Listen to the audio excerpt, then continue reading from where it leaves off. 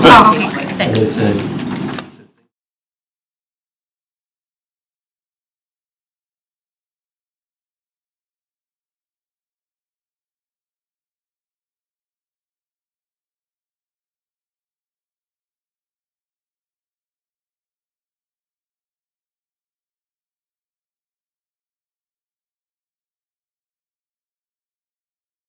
It's, right, it's probably just sub three now, right? Yeah, that clock's a little fast. Yeah. teacher work on vacation. I'll just, I'll run down and check my email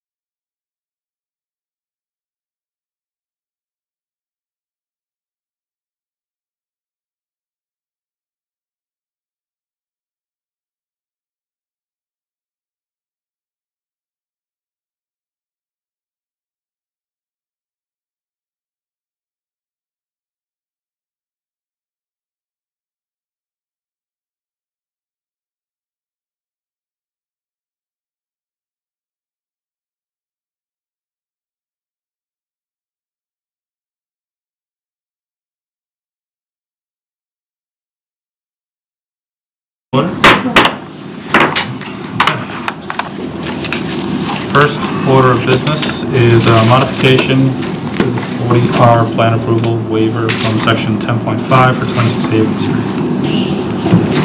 That is not on my agenda. Really? 95 Walker's Brook. I have a feeling that would happen. I thought that- I've got uh, 95 Walker's Brook as well, cervical implants. Okay, Good to go? for that, Good evening. Uh, For the record, my name is Scott Cameron with the Morin-Cameron Group, uh, address 66 Elm Street in Danvers, Massachusetts. Uh, We're happy to be here on behalf of Paracle Group. Teal Bernstein is here uh, from the Paracle Group. And we also have with us uh, Mike Radner, Michael Radner from Radner Design Associates. He's the landscape architect. And we'll do, I'd like to walk you through the plans, um, which I trust will get up on the screen in a moment, and uh, present the project to you. Uh, Before I do, though, Teal, just want, I wanted her to give you a little uh, introduction on the company, and uh, I'll here for a minute. Thank you. My heart's like beating out of my chest. Um, So I am Teal Bernstein, and I am the Organizational Development Manager at the Paracle Group.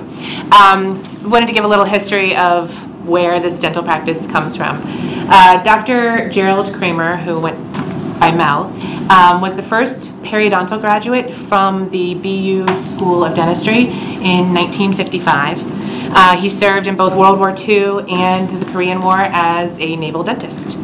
When he moved back after the Korean War, he um, originally set up shop in Lynn, had a two-operatory, two-chair uh, dental practice, and in 1965, he had an opportunity to move to Swampscott. So he purchased uh, 90 Humphrey Street, which is a three-story white house right on Kings Beach. Uh, In 1967, Another graduate of the BU program, Dr. Myron Nevins, joined him. And following him, uh, Dr. Gary Reiser, Dr. Roger Wise, Dr. Jim Hanratty, all followed almost every three years afterwards. Um, And then more recently, Simon Bernstein and Tom Stereo have joined the practice. Um, Dr. Nevins, Dr. Reiser, Dr. Wise, and Dr. Hanratty all actually still practice at the Perico Group. We have offices in Swampscott, in Wakefield, which we are looking to move to Reading, and Boston. Uh, We offer periodontal services, dental implant surgery, and adult orthodontics. Um, Does anybody have any questions about the practice or the business or anything like that? Okay, well, we're very excited to make Reading our new home, so thank you. Thank you. Just want to guys get you a read little the legal understanding. Did you Oh, read we the did legal not. ad? Sorry. Hmm. Sorry, before we, before you start. I don't know, I had- had the wrong agenda here, I'm not sure why. It's from the your, one it's from the meeting you missed. So I I have to do the meeting I missed? Try to make it right? Okay. Notice is hereby given that pursuant to sections 4.3 and 4.6 of the Town of Reading zoning bylaw, the Community Planning and Development Commission will hold a public hearing in the Selectmen's Meeting Room at Reading Town Hall, 16 Lowell Street, Reading, Mass. on Monday, April 9th, 2018, 7:30 on the petition of Perico Implants North Incorporated for a site plan review um, for improvements and upgrades to vehicular access and circulation, pedestrian and handicap access, and landscaping to the property located at 95 Walker's Brook Drive, Assessors Map 13, Lot 2, in Reading, Mass. A copy of the application and associated plans are available to the public in the Public Services Department in Town Hall on Monday, Wednesday, Monday, Wednesday, and Thursday, 7:30 a.m. to 5:30 p.m., and on Tuesday from 7:30 a.m. to 7 p.m., and on the town website the Thursday prior to the hearing date. All right. So you covered it. Uh, We're here for site plan review. Um, You heard introduction about the company uh, already. Uh, They're very excited to be coming to town. They're actually working on the interior renovation of the building now, and we're doing site plan review uh, because we are doing improvements to the parking area, Uh, and I'll walk you through the plan set that we we submitted uh, before you. Um, If you wouldn't mind uh, going to the sheet. So I'll walk you through the plan set. Um, I'm going to go through the civil plans and survey plans. Mike's going to talk about the landscaping and and lighting, and then uh, I trust we'd have, you know, maybe some questions and answers. Uh, So you'll see the existing conditions of the site. Um, If you could zoom out just a hair on that. Um, this- The property is shaped kind of like an L. So the property you're looking at is here, so it has this flag portion in the back, down here, and then your frontage on Walker's Brook Road. You could see the town line with Wakefield is right here, just off the property. You have town-owned land on this side, which extends out back, and then uh, this is a- an access way uh, to utilities uh, heading to the north. The access to the site actually comes in through the gas station, which has a Dunkin' Donuts drive-through. And presently, as you come into the site, you kind of drive around the drive-through and in through this direction. There's a fence that runs and a guardrail along this property line. And so your access is through this easement, come around the drive-through escape lane into the site. Uh, Once you get into the site, it's mostly an open area of pavement. Uh, There, there is some striping there, but the pavement's pretty old and chewed out. It just hasn't, uh, it's purple pavement, which means it's sometime in probably the 80s when it was put in, so it's time. Um, The building itself is about 6,000 square feet. It's situated right here in the front of the property. Uh, That's probably what you are familiar with uh, driving by the site uh, for the property. Uh, If you go just past this, you're going to be at the the 128 intersection, so it's it's real close to that area. Uh, There's some landscaping in the front of the property here. Otherwise, the rest of the property is pavement from property line to property line. About 80% of the property is covered with pavement or building, so it's mostly asphalt. There's no landscape islands, there really hasn't been much. It's been for, for parking uh, of, of cars. Uh, This has been an office use in the past. Uh, Right now, there's 70 parking spaces on the site, and uh, there are a series of older light poles in the back corners and on the corner of the building here that have illuminated the site, they're kind of older style uh, downcast lights. There are wetlands on all sides of the property. We will be before the Conservation Commission on Wednesday this week. Uh, We filed a notice of intent with them, so we'll be reviewing that with them. And uh, other aspects of the site and the existing condition, uh, the utilities all come in through the front of the building, so your water, your sewer, uh, electric, etc. There are a series of catch basins in the, in the parking area. And uh, one good attribute about the way this was built, the high point in the parking area is around the property line, and everything slopes in. So there's no water that runs off the parking area out towards the wetland. It all comes in, goes into the catch basins, there's some sumps, and then this goes out to the wetland eventually this way. Okay? Uh, the next one. Next sheet in the plan set is kind of a site preparation plan. So we have our erosion control information on this plan. Uh, The pavement will be removed, uh, will be cut right on the edge of the access easement here, and everything will be removed. Uh, The distinguishment on the, kind of the hatched gray area in the rest of it The gray area is where we're fully removing all the pavement, so that's gone, the subbase is gone, and it won't be going back.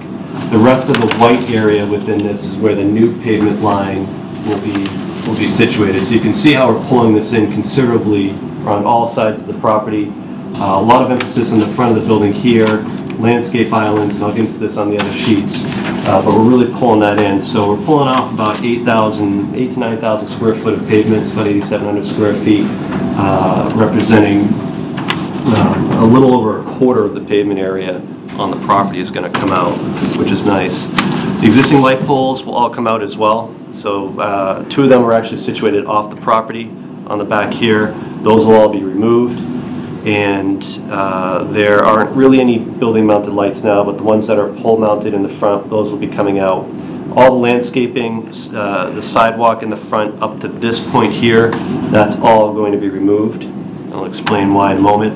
Everything in the front of the property, for the most part, is going to be maintained. So that landscape grass area, it's actually serving, there's a landscaping easement there, and it's actually serving as some utilitarian purposes as well. There's a drainage swale in the front of the property, which is mostly in the highway layout, but it's utilitarian. So we're not really proposing a lot of work in the front of the property. Uh, Mike will get into those improvements uh, when he gives his presentation on the landscaping. Um, If you wouldn't mind going to the next sheet. Okay, so the next plan is our site layout plan. So this is going to give you the overview of the improvements planimetrically on what we're proposing to do. And really, the the primary point of, know, this project and what really started this conversation is with the interior renovations, we need to bring the building into code compliance with handicap access. So right now, you got a step up to get into the back of the building. We need to make sure that, that it's handicap accessible moving forward. And the other reason why I want to do this, and it's kind of a unique property, the door that faces the front of the street, well, we're going to continue to leave that and it will be functioning as a door. Really, the front of the building is in the back side where you're parking. So the idea was to get that to look more like a front building, so when you park in the back, it doesn't look like you're walking into a rear door to the building. So you can see this large area in front where we're removing all that pavement and asphalt. And This will now be a large landscaped area. We have our walkways, handicap access. There's a a walkway that comes up to the main door, which will be on this side of the building here. You have a secondary door here. There'll actually be a couple of steps up, but that won't be a primary door for the business. And then you have a side door, and I'll explain what this is for here. This, uh, as Teal was explaining, this is more of a surgical uh, dentistry practice. It's not outpatient where you have people come in for cleanings and there's a lot of turnover. These are, uh, it's a far less frequent customer uh, turnover. And when the surgical patients are leaving the facility, they come out this door and there will be a a railing on this edge and somebody would have to come in, they might be under anesthesia, so somebody's picking them up. They bring them out this door and this front area here is for uh, picking up patients as they come out. So we're we're allocating this area as a pickup and drop-off area, eliminating the parking that is there now. This has a secondary benefit of if there is an emergency, you can pull an ambulance up right up to the front and it's unobstructed, so you can get right in and out of the building. The rest of the parking lot improvements, of course, we'll have our handicap parking spaces here uh, to meet the uh, requirements for that. Uh, 2% grade, so we'll be flattening the grade of this a little bit in this area. Uh, It's a little steep now. We'll be adding landscape islands throughout the parking area to help facilitate traffic. And the big change here uh, from a vehicular circulation, again, the access comes in through this easement, currently comes through the escape lane for the drive-through, and people kind of spill in this area, and then it's tough to tell what you do, so if you ever watched it, people are just helter-skelter all over the place. What we're going to do is sign this and eliminate the fence and the guardrail along this section, so that the traffic now comes straight into the site, and it's circulated around and back out, or around and into parking spaces. So we're going to better facilitate traffic to the use, instead of people pulling in and having to navigate through the drive-through or being a little confused. Uh, We're going to bring them right into the site. We're going to add a peripatetal sign here, a directional sign, to let people know this is the entrance to it. And uh, directional arrows and do not enter signs will help control traffic so people keep coming out this way. The other feature we're adding in on this edge of the property, we're going to put in a five-foot wide landscape island, and this will create a divide between the drive-through and the property, so there really shouldn't be any question about, about where you're going to drive. Uh, We will also be pursuing, uh, although not in this application, uh, probably a frontage sign in this area, and that's still, there'll be another application down the road, but just another directional sign to help facilitate traffic in and out of the property. Uh, Lastly, I did include the graphic for the new sign that will be replaced as an existing freestanding sign in the front of the property. That graphic will be replaced with the one you see in the plan here. Uh, If you don't mind, actually, one more aspect on this. On this edge of the parking area, we did remove more pavement. That's going to be a snow storage area. It's the push point for the plows. And we did put a chain link fence on this side, uh, which will be slatted and vinyl coated, so that'll be a good break. So when they're pushing snow, it's a good catch. It's a durable fence. It can flex a little bit with that. So we put that edge on that, on that there. Uh, Yeah, ready for the next one. So this plan, the next sheet is your grading and drainage plan. Uh, Again, existing site, uh, we are in a floodplain here, and majority of the site is within the floodplain. So what that forces us to do is we've got to balance our cuts and fills. We're not allowed to fill in a floodplain. It gets another, another whole issue, uh, both on the Wetlands Protection Act and Building Code. So what we did here is we are matching existing grades to the extent practicable. Wherever we can, we're matching grades. We are cutting for the most part through this area. There's a little bit of fill in this area, and each of the landscape islands have a little bit of fill. But overall, we're actually creating more compensatory flood storage uh, through the, through the work than, than, uh, than what's there now. We did the calculation on here, if you're curious to know the numbers. Uh, It's really a small site, so in the grand scheme of things, it's drops of water, but we do meet that code. Um, As I said, the snow storage area, we've graded this to be a shallow depression, so it's only six inches deep, but it is an area where the snow will catch, and then if it does melt, it melts back into the catch basin here uh, before going back out, so you've got that sump, you've got two sumps to catch any of the sand and grit and the snow here. Um, Again, you have your handicap access from your parking spaces up through the building, your handicap ramp and into the building. This is all handicap accessible, there's a ramp here. Uh, We are balancing the curbing and the edging on it. So in front of the building, you'll see there'll be a six-inch vertical granite curb up into this point, and then it will transition to concrete to match the concrete, which goes the rest of the way out. The islands will all be uh, bound with Cape Cod berm, which is the shallow asphalt berm. Again, this, every inch counts. We want to keep that flatter, so we didn't have a six-inch fill, we only had a four-inch fill. So we did the asphalt berm on those. They're very durable, uh, and they hold up well to plows. And then on the back edge around the rest of the parking lot, that's just going to be an edge of pavement finish. So there won't be any curb on the outside. And again, the slope of the pavement comes into the site. So the high point's on the outside and all the stormwater runs in. I'll also note on this corner, there's an existing easement uh, for the town to access uh, water and a sewer pump station. I believe it's pump station, which is quite a ways north. So we are reserving this and leaving that open on this corner.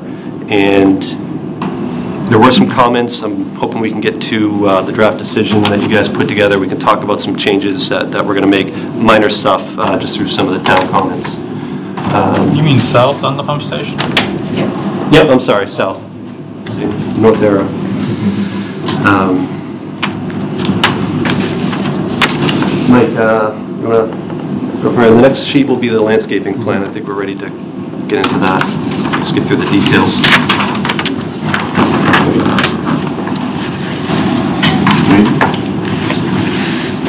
You have the, uh, the more colored? The one you sent late Yeah. today? Uh, actually, It helps with the presentation, sure. Oh, yeah, I think that's fine. We did some edit, we did some minor changes to the comments. Mike's going to show you a color plan, it's just, it's more illustrative, uh, but you'll see. you'll see it's some of easier to these. see, so yeah, Yeah. go ahead. That's great. So that's a good um, illustration there, of the um, additional landscaping that we're doing compared to the, which one, I believe? The Red. Um, So Scott, uh, sorry, Michael Radner with Radner Design. Um, You can see the introduction of the landscape islands in the parking lot. Um, I'll just, I'll sort of start at the front of the site here. Um, This is, this is a mostly grass area in the front of the site. There are some existing foundation plantings along the front. Um, And then there are a couple of trees, there are actually three trees, one here, here, and here. This one is now appearing as white space because it came down, in, I think, about two weeks ago, in one of those It was, great... it was a victim to the storm. It was, yeah, Yeah. poor tree was just, like, good timing or bad timing, I don't, I don't know. Um, And then there's a, there's a large uh, tree of, like a flowering tree um, in this area right here, which is very close to the building. Um, We would like to take that tree out uh, just because it's, it's getting into the the eaves, close to the roof, it's close to the facade. Um, and, um, At this point, it's, you can see it's, it's life.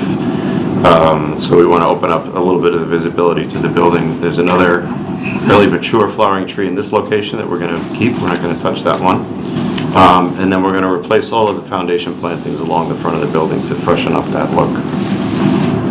And, um, you know, I'm certainly happy to go through plant species if you want, but we'll- we can save that to the end if anyone's really interested. Um, Another foundation planting around the back, or we're calling this the front of the building, the south side of the building. Um, The landscape island that Scott mentioned is, is over here. One of the things that we like to do is, because of the uh, patients exiting out of the door at this location, was to give them a little bit more of a buffer between us and the gas station. So there are um, a couple of large trees that are going in there. There's some arborvitae to give that um, screening towards the, the drive-through at the gas station here. Um, Introduction of new landscape island in this area with a, a large tree here, shrub, large shrub plantings along this side, um, new shade trees, these are maples along here, um, a couple of pin oaks in this island here, and then this one doesn't have trees because there's a uh, light pole here, and a light pole here, and these basically light, I'm sorry, a third one in this location, and these basically light the whole parking lot in this location. So if you go to the lighting plan, to navigate to that.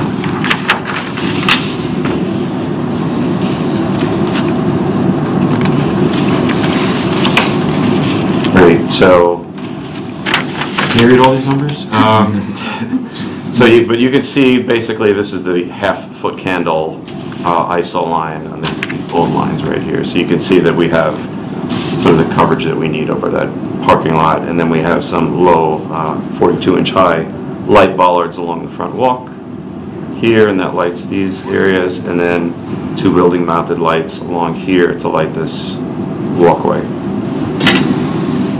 Uh, I should mention, there is uh, an existing light pole in this location, which is not owned by us, it's owned by the uh, Shell Station owner, and that does provide light at this exit lane right here. And you can see the, uh, you know, I've added the um, catalog cuts for these light fixtures, um, elevation that shows the relative heights of those uh, light poles right there. And this is all, it's dark sky compliant, these are LED fixtures, very energy efficient. I'm sure you've seen this before. It's basically the standard for site lighting right now. And there was some, there was discussion of timing on the lights. Do you want to get into that? or- Yeah. Um, There was a comment in the, in the certificate about the time of day, uh, came from the Conservation Commission. Uh, So these lights will be on a timer, and they'll probably be shutting down between 6 and 8 o'clock, somewhere around there, um, when the business shuts down for the day. So there's no need to illuminate the parking lot at night. Um, So they'll probably be shutting them down at night, they'll be on a timer. Um, And if you wouldn't going back to the color plan, just a couple other points I wanted to make. Um, So I mentioned, uh, in existing condition, there's 70 parking spaces on the site. Uh, We're going to cut that back to 40, to meet zoning, it's plenty to accommodate the use, but we're taking out a lot of the pavement, and with that, a lot of the parking. So as you can imagine, a lot of the traffic that could be going to this site will be decreased. This use will generate about one quarter of the traffic that an office will generate in your peak AM and PM hours. So I put some of that information in the technical report, if you uh, saw my table in there, because I know everybody read through that.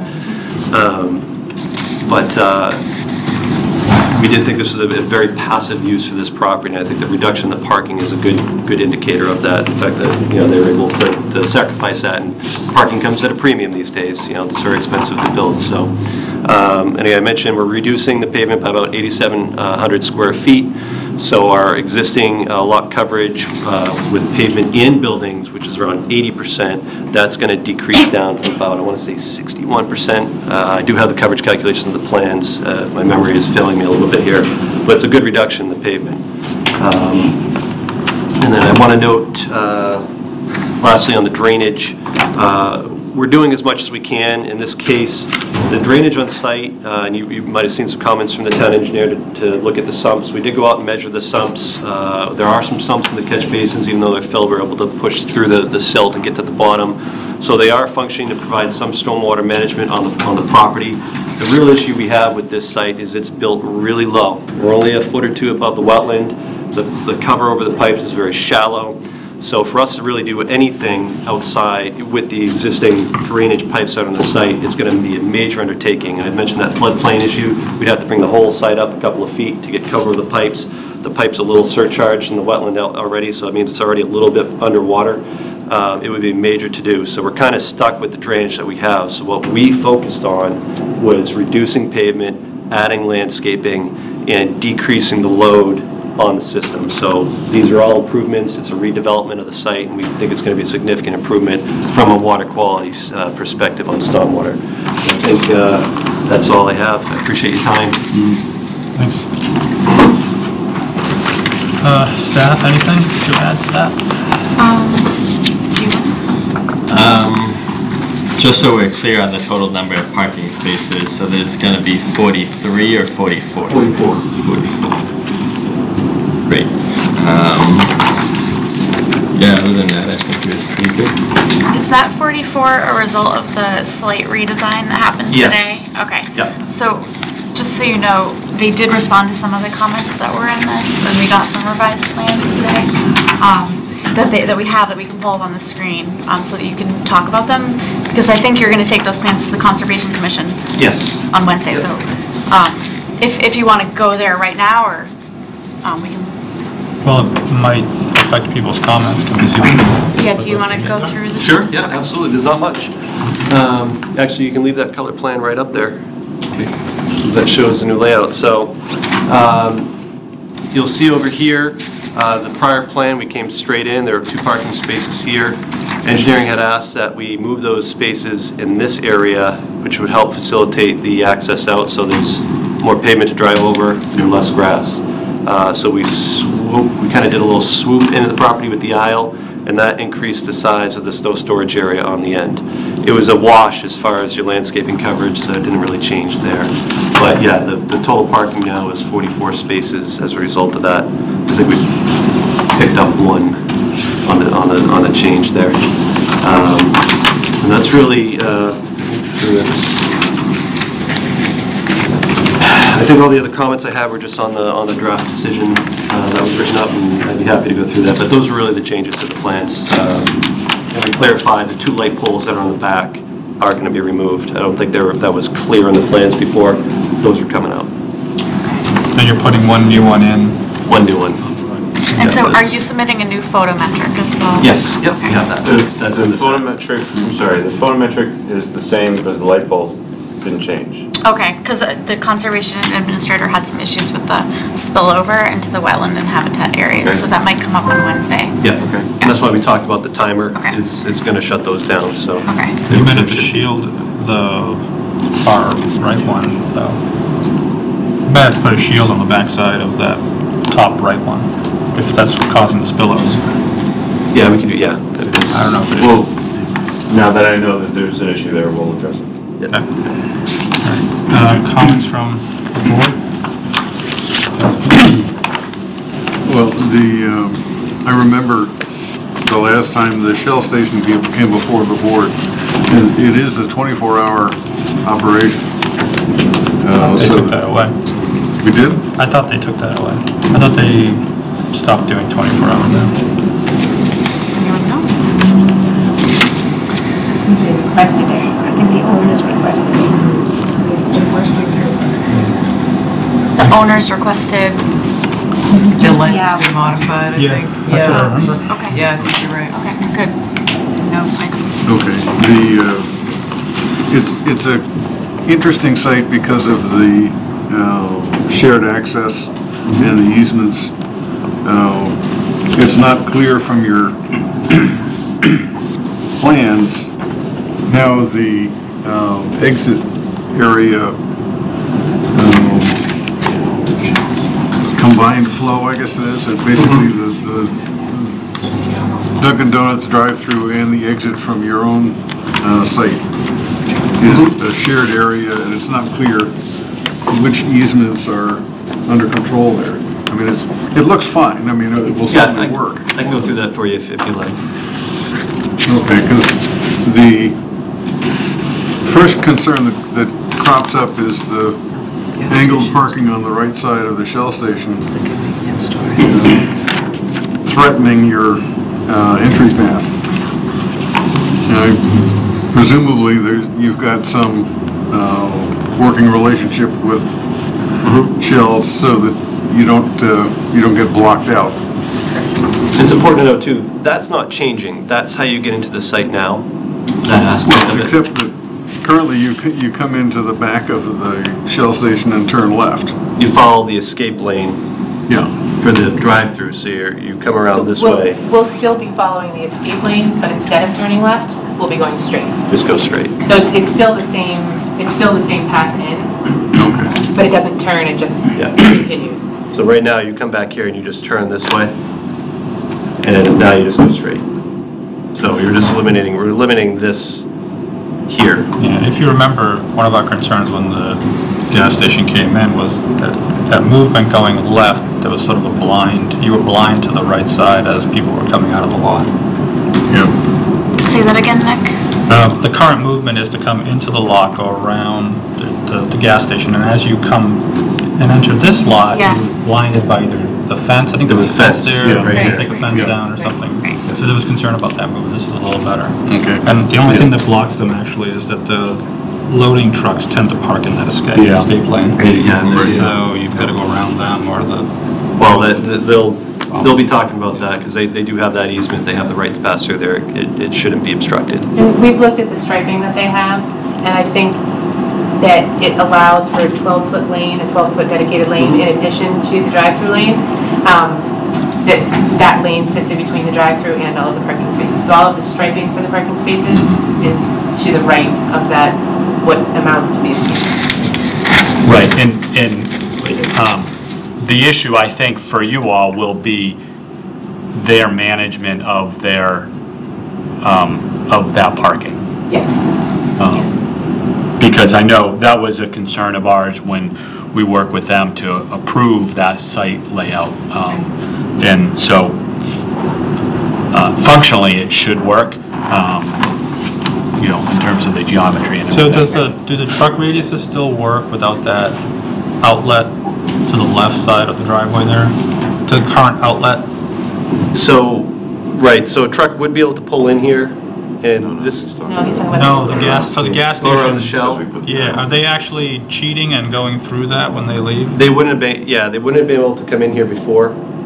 Oh, yeah, right there. You're talking about here, yeah, so right now, this is a solid fence Oh, and no, a no, no, guard. no. Why don't So, Sorry. maybe we It's should it's go. really, it's an issue for, for Dunkin' Donuts, right? Because they, I'm assuming, like every other Dunkin' Donuts, they bring in, um, there's, it's big trucks. Big trucks. It's usually one 18-wheeler a week, and then you have your box trucks that come in daily. And they circle, right now, they circle around the back because they can. Because they can. Um, And Nick's question, and it's, it's not really, it's, it's not your issue, it's their issue, um, is can they still do that? Or will they still do that and drive over They'd the be cutting planting? through your lot now. Or, or will they be driving over the Arborvitae? Right, yeah, yeah, yeah. Yeah, I, I think it's a fair point, and, and they very well could come through and, you know, sort of laying on the ground, I don't know what would stop them from coming around the long way. Um, you know, but certainly for patient safety, we would discourage the truck traffic through the site. And that, and that delivery truck, I've done quite a few Dunkin' Donuts, so I can't speak for this application, but it's typically one 18-wheeler a week is the big one that you see coming in.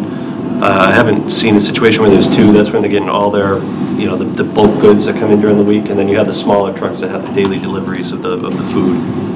So, Yeah. Yeah, but every single 18-wheel Dunkin' Donuts truck parks in the worst possible Yeah. spot on every street. Making Now, walk I, you I through have. I have witnessed a delivery, and they did park nose in on the escape lane, so that the drive-through traffic continued around, and then when it left, it pulled, so it, it kind of went counter Yeah. to the traffic, but I did I did see that delivery, that delivery truck did stay in that that escape lane. Right, so, like John said, it's their problem, really. My concern is they're gonna cut through your lot, and that truck, I don't think can make that turn without starting to wear out your island, you know, the first island as you enter your site.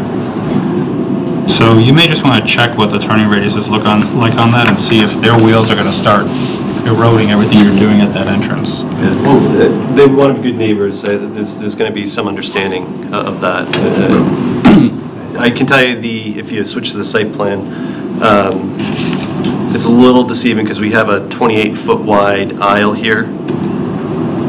So as you come around, as you come around this sweep, you have, you can turn out further than if it was a normal 24-foot wide. I still And I think think, those rear I wheels are think gonna hit that. the, the area where it's gonna be narrow is right here. It's on that side, not, not the other side. So that's gonna be discouraged, but The, the concern that, that crops up is that the, currently the, uh, the straight back access to the, your parking area, your, the L, is blocked off. But the, uh, corner between the properties is open. That's the ac, the access way.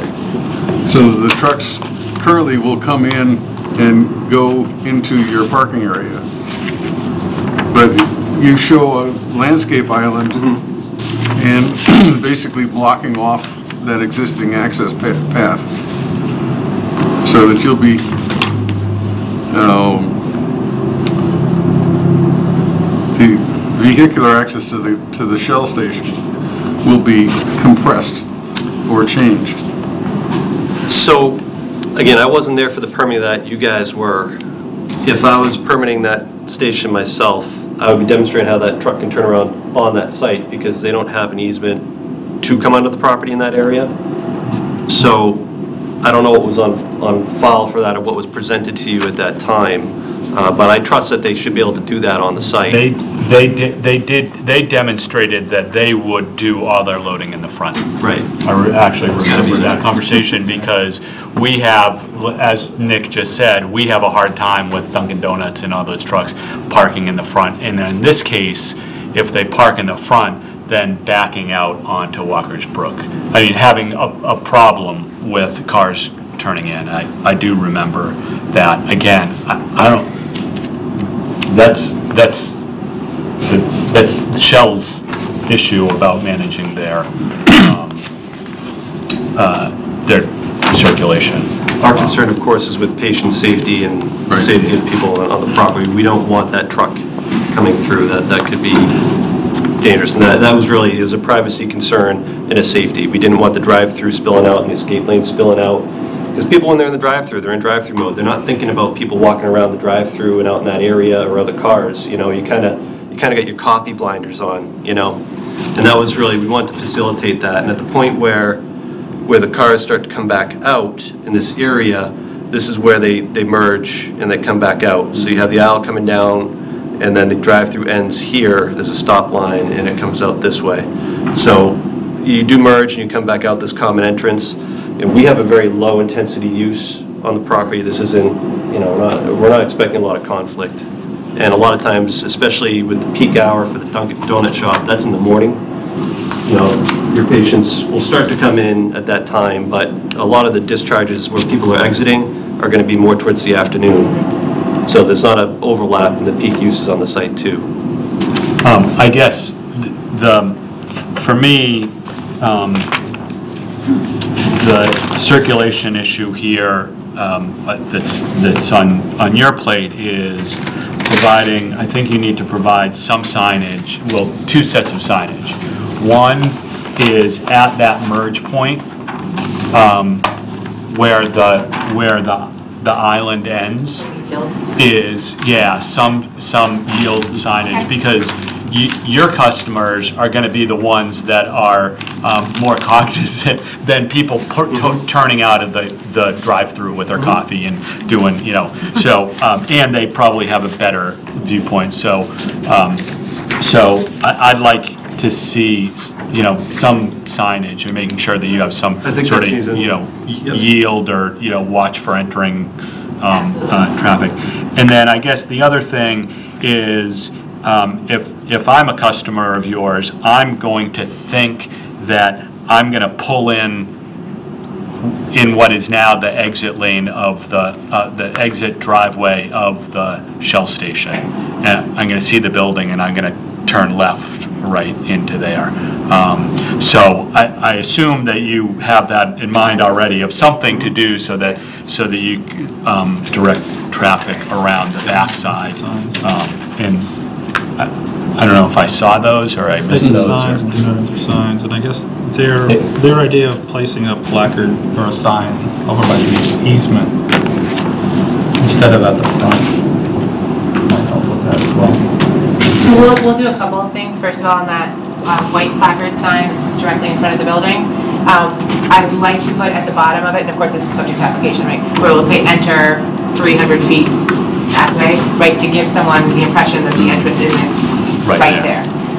We will also include on our referral pads, which every patient gets when they come from their referring dentist, um, a picture of the entrance and precise directions, which we, I mean, we do for all of our sites, Right. right? It just, it helps, because a lot of times the patients are coming there for the first time and they need to know where they're going. So one of our referral pads is a picture of door nine, right? We can say just come into door nine, but we actually show them a picture of door nine, kind of a you are here, um, to help them, help them understand. Um, we've also talked about updating our website, pictures of the entrance on the location as more people go digital, unless they're carrying around a sheet of paper.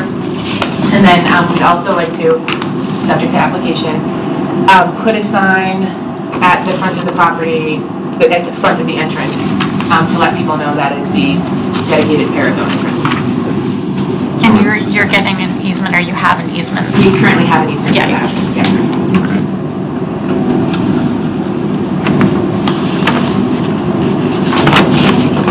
Um, The town engineer doesn't talk about capacity of the drainage system. He just mentioned he'd like to see a four-foot sump, but you're saying it's really shallow. What do we know about the existing capacity of the system? It- It's, it's working fine. Uh, We're not talking about a huge area, and we're decreasing a lot of the load that's going to it by eliminating the pavement. Um, There is an operation and maintenance plan that's included with this that's going to be memorialized, if not in whatever decision this board issues, but uh, for certain, the Conservation Commission will have an order of conditions uh, which will have that operation maintenance plan. So you can tell there really has been a lot of maintenance of this, these, these structures. Uh, We're actually budgeted in the, in the cost estimate for the site contractor that he's got to clean these out as part of his work. Uh, So those will be maintained. There is a sump.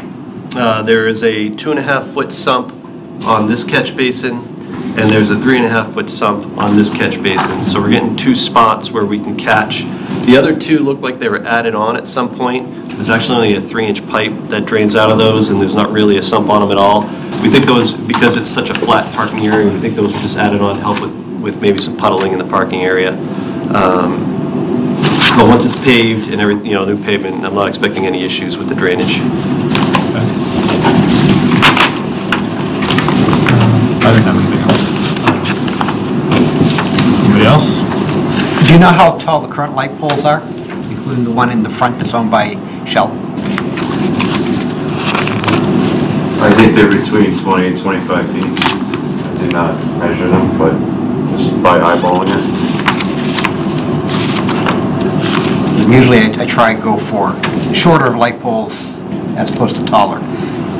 Yeah, if if you can go back to the light. Um, So do I.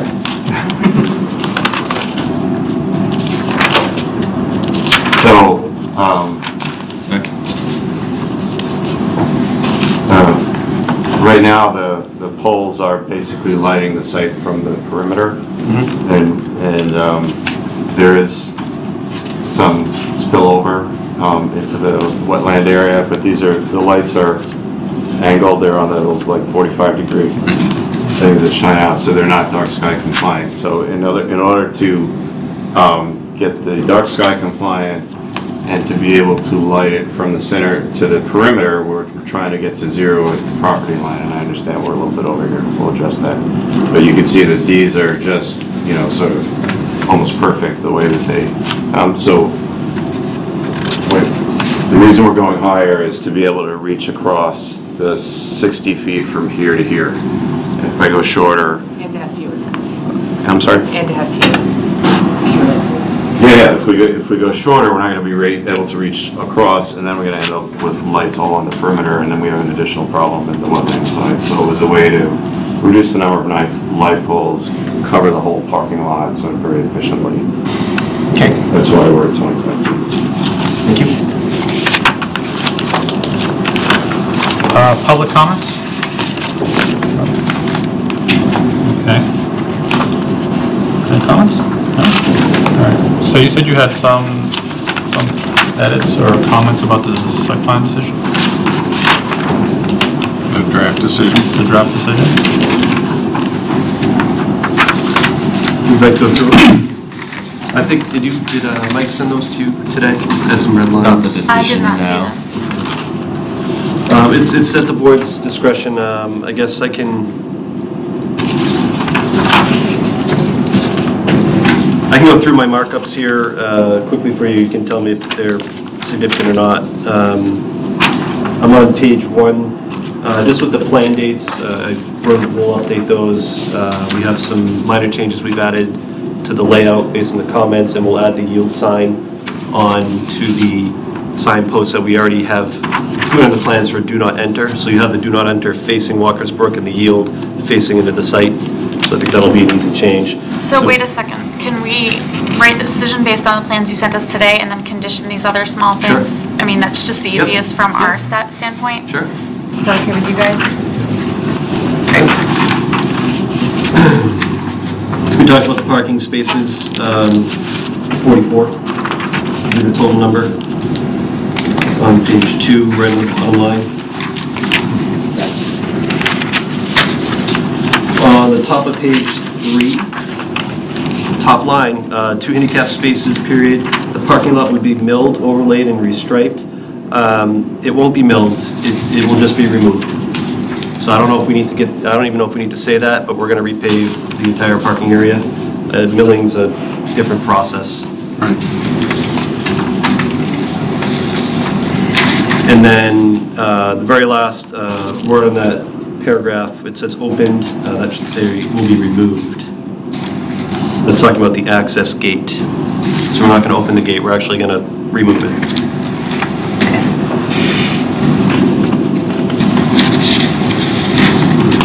Um, The second bullet down with the arrow, uh, potential parking spaceship, that was a comment. I guess uh, uh, we changed it on the revised plans we sent in, so we could delete that. On the trash pickup and deliveries, item seven, it reads, "Medical waste will be removed from the site daily with sharps disposed of once per month." Uh, I'm questioning if we need to get that specific on that, because that could change depending on intensity of use. I was going to suggest just say "as needed" uh, from the site. Yeah. Oh, would that imply a dumpster? No, no, Or some no. storage? Nope. No? Nope. One quick question going back to the um, parking space shift. So Mm-hmm. are you agreeing to mark those two, those new spaces as employee only as Yes, so they'll be, they'll be Okay. striped. We can't put signposts because that would block the easement, but we can stripe, you know, employee only on those. Okay. And I believe that was on the plans. Yeah, I believe so Okay, too. all right. Yeah, to be, note says to be striped employee only. Okay. And the reason for that is so if the town does need to get out to the easement, they can just knock on the door, and employees move the cars, as opposed to patients who could be stuck there for hours.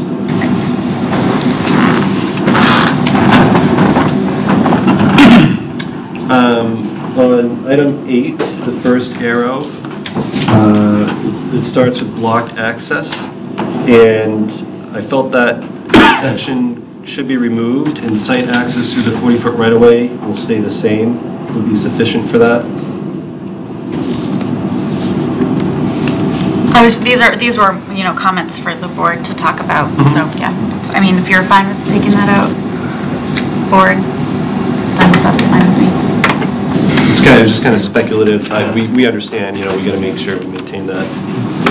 Um, So the next bullet down, the applicant has, reads, indicated that negotiations are underway for a sign. The applicant has obtained an easement for the sign. Can we talk about that for a minute? Um, Because does that end up being an off-site sign, and then is that a problem with our um, sign? Yeah, I was thinking Bylaw. that. So it's the right thing to do, but I think we need to do a little bit of zoning gymnastics in order for um, that to work properly. Because currently it would be a directional sign. Would be how we would, Yeah. and that's very small. Yes. Yeah, it's got, it's got the company logo with an arrow that points in. But the That's- dimensional, it's, I That's it's the got the other com- challenge. Sorry. I think it's two by three for directional signs. They- they- Yeah, it's tiny. There's two challenges, right? One is the off-site component, and then the other is that it might end up being very small. Is that what you had in mind, a two by three? Uh, It it was subject to the application. So the the easement grants larger, but it's all subject to town approval. So it it would just be, Can we put that Whatever you language right in, right in, it says subject, subject to, We're not approving a sign here, we're just, just noting that they've already obtained an easement for it. So when they come in with a sign app, we can deal with, you know, viewing angles and and safety and all of that. Mm-hmm. I just wanted to bring that up, not, So there's no because, surprise, yeah, yeah. because it's, it's- so it won't be a surprise, because it's a, it's, it's an issue that it's not on your property in terms of the way that our zoning is written. Yeah, so we basically prohibit off-premises signs, um, except for temporary signs. So we need to, Yeah, but Maybe the way to Yeah. do that is that it's actually a sign from the Shell station, and the Shell station has to apply for the sign. okay. Yeah, it's a good suggestion. Probably a good If we idea. can convince them to do Right. that. we've we've actually had a conversation about it. and I Yep. think it would be best for both of our businesses Yeah. for that, and uh, they were very amenable to it. Okay. Does I think Yeah. that makes sense. Yeah, that's a good So, suggestion. The, um, which district are we in? It's industrial. Okay, 'cause the- the- because within the industrial district, we may have a little bit more flexibility with the signage. I don't remember offhand. Well, we'll look into it, but I like, I think that suggestion's a good one. I think it is too. Um, you set with that one? I'm on page four. 10 regarding lighting, first arrow. All, you can change that to all off-site light poles will be removed.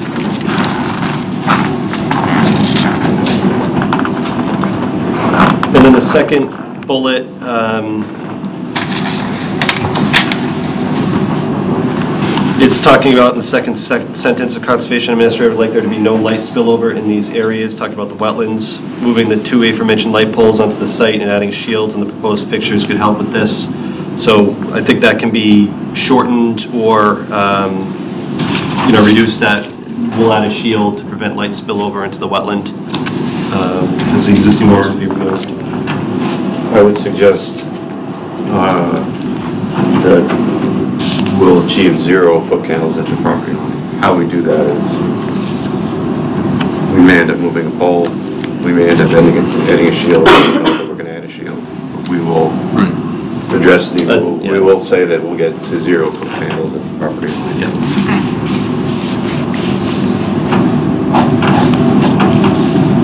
So these things that they're agreeing to, I'll add to the list of conditions as well, because findings are findings, but conditions are binding. Should we also put in a, lights will be off one hour after the close of business? In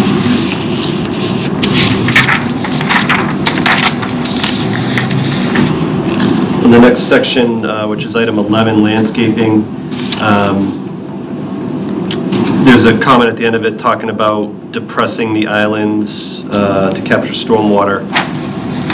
The reality is, we really can't do that. Uh, The grading, we have to get it to the catch basin, so there's no way to get water in them. And then the soil itself is relatively poorly drained, so we would be concerned about standing water and issues that arise from that. Um, I won't speak for Mike and the plants, but they usually don't like to be sitting in water. Um, So I would, I would, I don't know if that needs to be in there at the end. Nope, it can come out. Um, Fencing, uh, I'm proposing to reword that to the wooden guardrail and chain link fencing along the perimeter of the Shell site will be entirely removed. And then strike, at a minimum, the portion blocking the Perico site entrance will have to be removed. So the proposal is to take out all of that. And we're replacing it with landscaping. Wait, so you want me to just change may to will, or take out the second part of that sentence as well? Uh, both. Okay.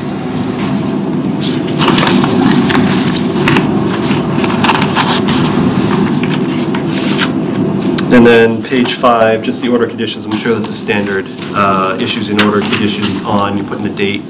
Um, I don't know what that date's gonna be. Yeah, yeah. I'll, I'll reword so we don't have to have a date. Yeah. That's it. Okay. Thank you.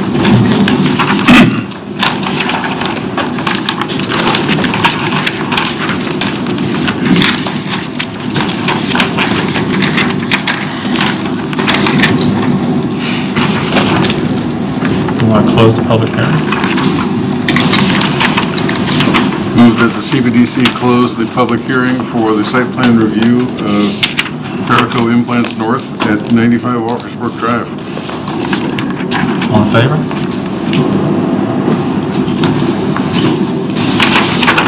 Any other edits or conditions?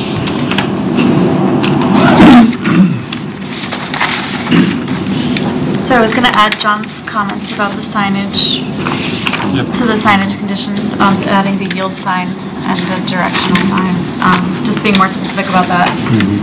And then, um, add some, the things we talked about regarding the lighting, um, as well.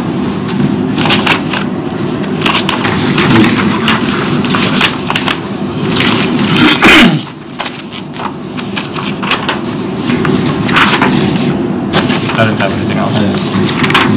But the, one of the side effects or, or results of the development will be a change in the circulation for the Shell station. And we should at least acknowledge that, I think, as part of the uh, process. And I know that, I mean, they, they will obviously be talking to their neighbor. I I guess the, the way that the Shell station uses um, their property um, is, is ad hoc right now. I mean, it, people do it because they can, um, not because they have the right to do it. So I'm not sure we necessarily want to, I mean, it's, it's, I I don't know if we memorialize that in any way, um, that Well- people aren't, are, you okay. know, The- using their property when they shouldn't be. If, when I, when I pr- give myself a second thought, um, there's an existing easement that allows the, um, I've forgotten the name of the company, the. Electron? No, the, the. Aristonics. Aristonics, yeah. That allows the Aristonics people to come in and run left along the fence on the Shell Station property. And that easement probably should be modified in order, um, There's actually not an easement that goes across to the left. There is? I'm sorry, you you were yeah, yes. well, that's, I mean, that- that's an easement, the, the piece of it that runs along the back of their property is probably gonna go away. Right. So well, there's an update um, required on the Shell Station easement, I believe, Okay. or desirable. Not shown on the plans.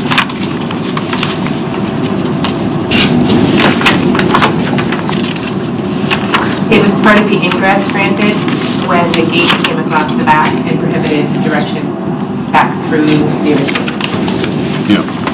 And, and there would be no need for Perigo to have the easement that came around the drive-through if it had the access to come, to come through that. So it just becomes outdated, um, an outdated easement.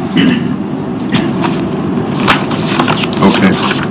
It would give them, having us not traverse across their property, gives them greater flow for their customers too. Well, and in fact, now you're putting up an island that will prohibit you, your customers from use, exercising that easement unless they, um, you know, want to go four-wheeler. For our staff Yeah. going across for coffee. Yeah. Yeah. Um, But yes, yeah, it does. But that's not a bad idea to make that as a finding that it's, that that easement exists and it's expected not to be utilized. Superseded, yeah. Utilized, okay. Okay, Just throw that into the findings. Yep. All right. Anything else? No. All set? Okay. Um, Move that the CPDC approve the site plan review decision for the Perico Implants North project at 95 Walkers Brook Drive as amended. Second. All in favor? I'm gonna sleep so good tonight. Thank you, folks, I really Thank you for appreciate your time. time. This you. is incredible. We'll be in touch with you tomorrow. Yeah, definitely. All right. Good luck. Thank you very much. Okay, um, There's a couple people here that I think are here for the design guidelines. I don't know if you want to mention, I don't know if we're gonna get to it. We have a lot and I wanted to talk to you guys about the town meeting presentation. yeah. I didn't think, uh, what Julie's mentioning is that it looks like this meeting's gonna run late, and we were gonna push off the 40R design guideline discussion. So if you're here for that, you you can hang around if you want. We're probably not gonna get to it. Can I just ask, Nick, is it, is it still on for the agenda for the May meeting? Yes. And do you know the time for that roughly? Um, Uh, Probably later, I guess. I'll, I'll check it out. It'll be under other topics and we'll fit it in when we can. Um, but you can always check the agenda like the week before and get more specifics or contact me. Thanks. Okay, so next up is the concept plan review for a two-lot subdivision at 40 Grove Street. Good evening. I'm Josh Latham here tonight on behalf of David Orbosh. He owns the property at 40 Grove Street here in town. Uh, With me this evening are Mr. Orbosh and Jack Sullivan, his engineer. Uh, We requested this time tonight to speak informally about a concept with regards to subdivision uh, approval. Um, We've submitted a plan which shows the concept that we can uh, conform with all subdivision regulations for this site to yield a two-lot subdivision. Uh, To give you a brief description of the background of the site, uh, it's located in the S15 district. It's also in the Aquifer Protection District Overlay District. Uh, It's approximately 57,700 square feet of area. On the site is a historical home built circa 1850. That's the earliest that we can source it on a map in town. It is on the historical inventory in town as well. So, to summarize, Mr. Orbosh is interested in- in proposing a subdivision for this site to yield two lots. His intent is to maintain the historic structure as part of this process. Uh, The first plan we submitted shows we can meet all subdivision regs. Uh, It would allow for a construction of the full 60-foot right-of-way with a 30-foot paved street with with sidewalks, et cetera. I think it raises the question, is this really what would be appropriate for this type of a site? Uh, It's a two-lot subdivision, it's a real low-impact kind of project. The town regulations are really crafted after the more traditional, you know, large-scale subdivisions. And so Reading doesn't have a shared driveway bylaw, doesn't have any other mechanism to do a low-impact subdivision. The only avenue that's left is to do this through waivers. The proposal that we have is to do a reduced impact site, and that's the second plan we're submitting. That plan is entitled Conceptual Subdivision Plan. And you'll see that that plan shows uh, a reduced 40-foot right-of-way, much of which is intended to remain as open area, uh, and really proposing a 14-foot traveled way, uh, paved driveway. Again, this is much more akin to a proposed shared driveway, rather than a true subdivision public way.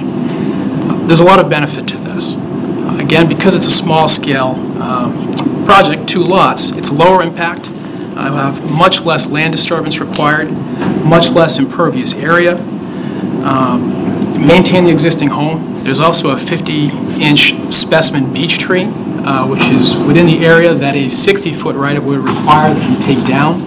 Uh, This would allow us to preserve that tree. Uh, We did meet with Julie and Ryan to briefly discuss this, just as a, as a concept.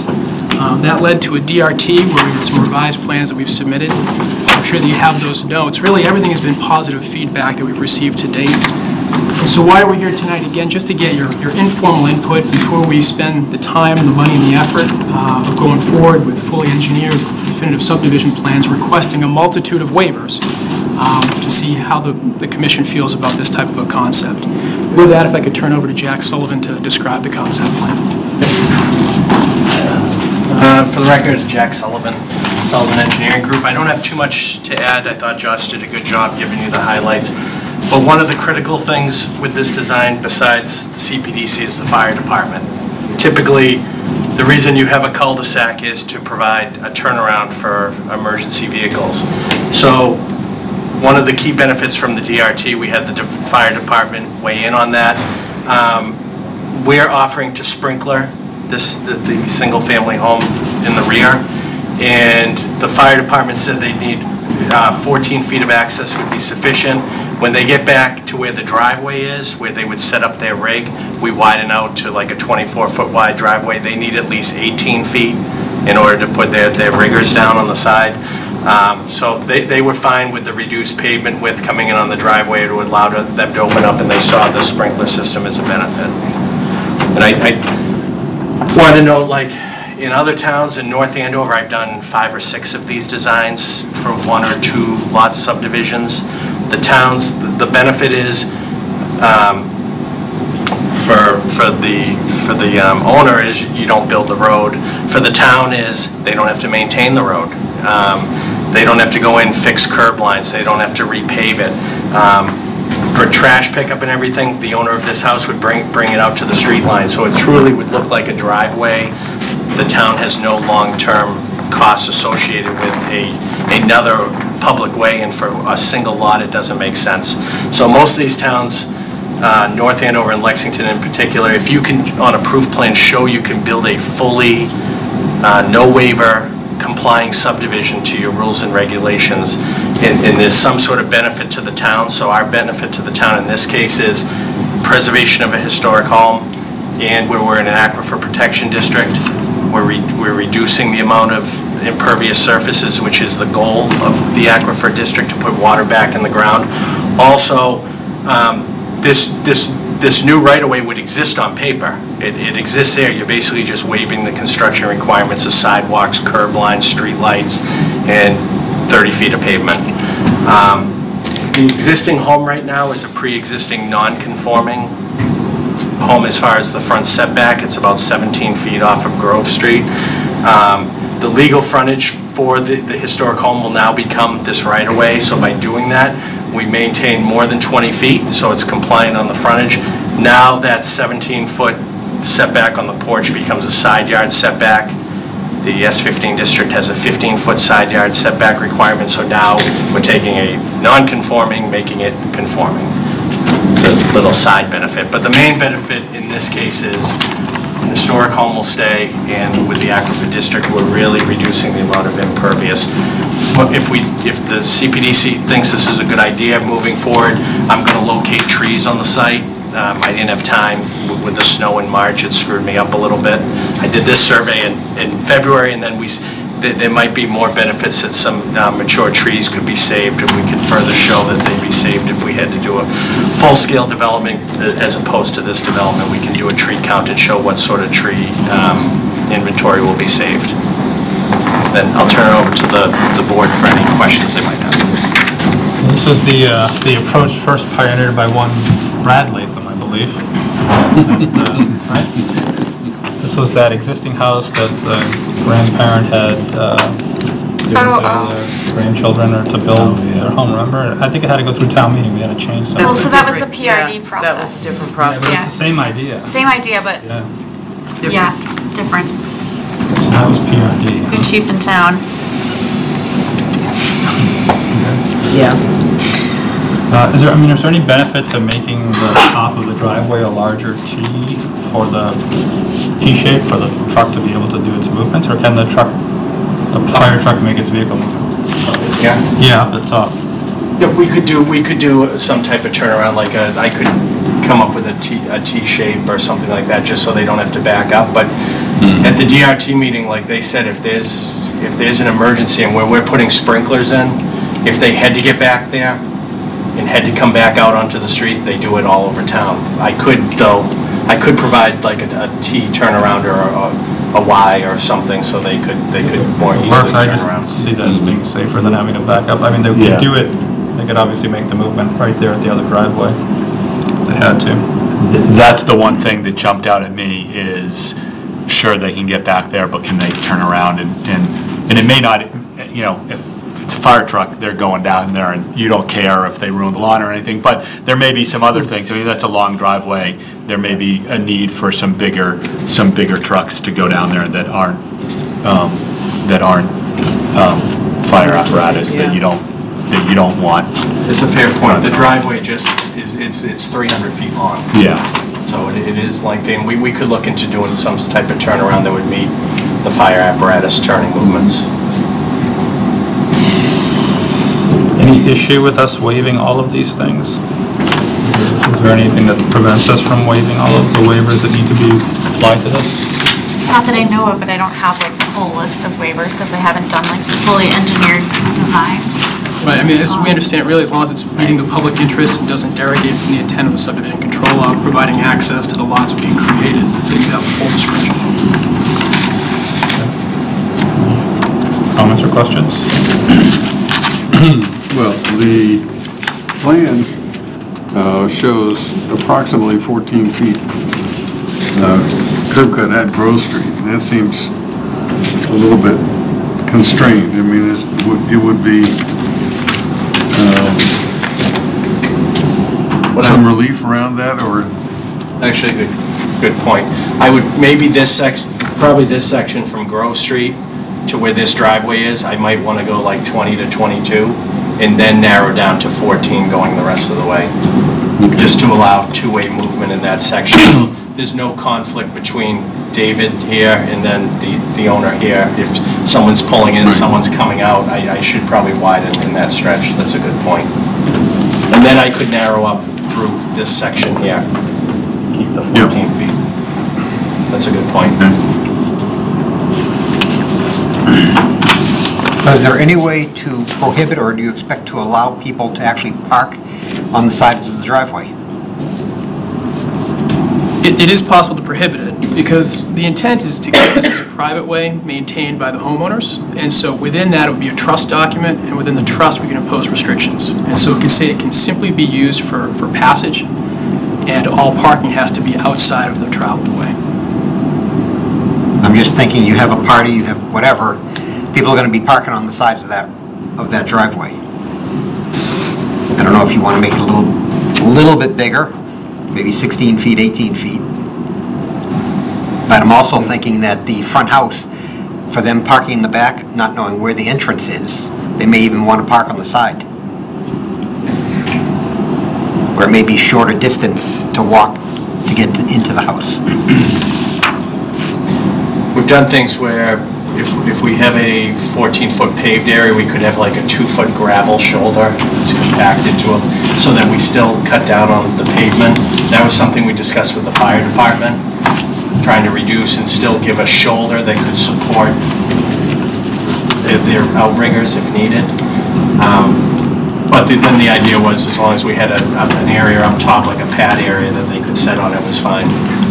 But we could do that. We, we were trying to keep pavement to a, to a minimum, but I get your point on overflow parking, but that would have to be one heck of a party if they're lining up.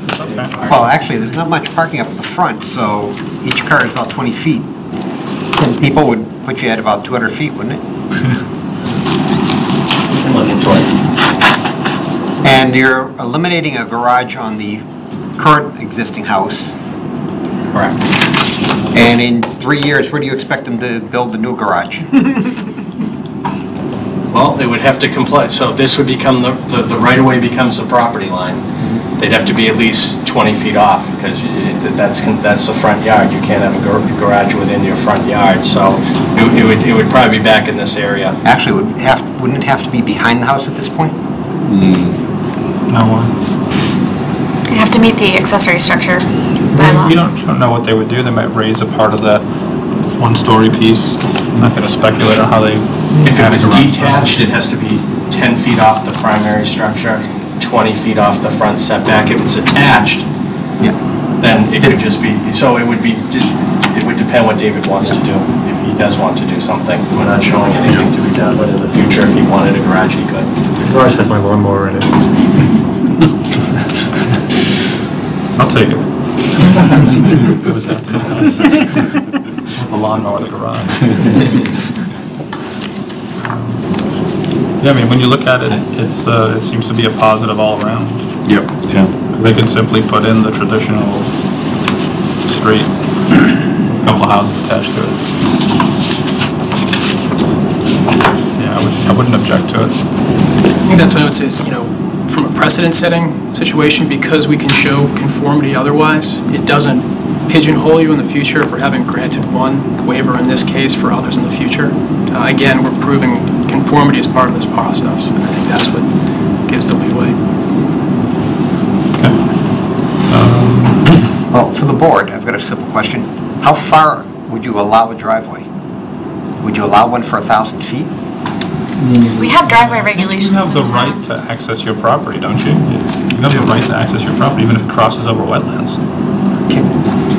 The engineering division has driveway regulations. There might be something in there, but um, I don't know off the top of my head. We have a limit. They don't have a limit on the length, th- but they control like the grades of the driveway, widths. um, th- There's a whole doc, it's out on the engineering website, but there- there's no maximum length.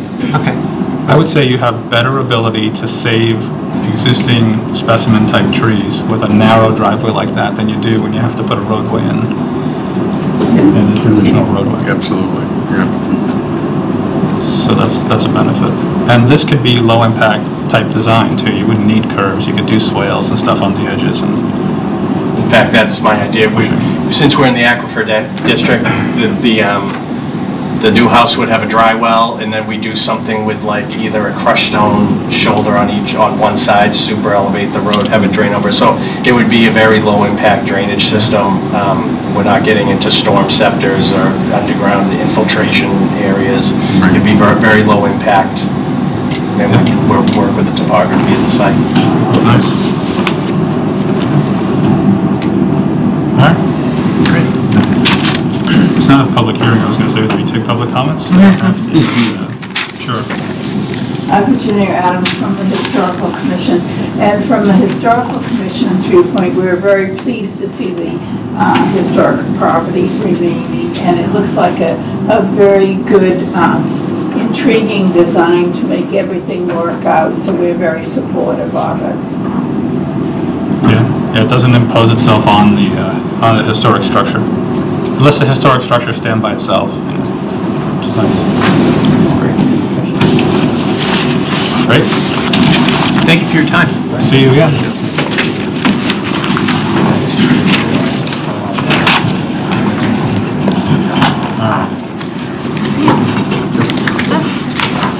Um, Next up, major modification to an approved site plan for 306 Main Street.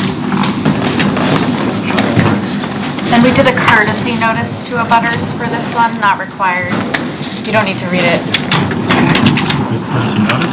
Yeah, you just let everybody know. All right. In case they wanted to come out.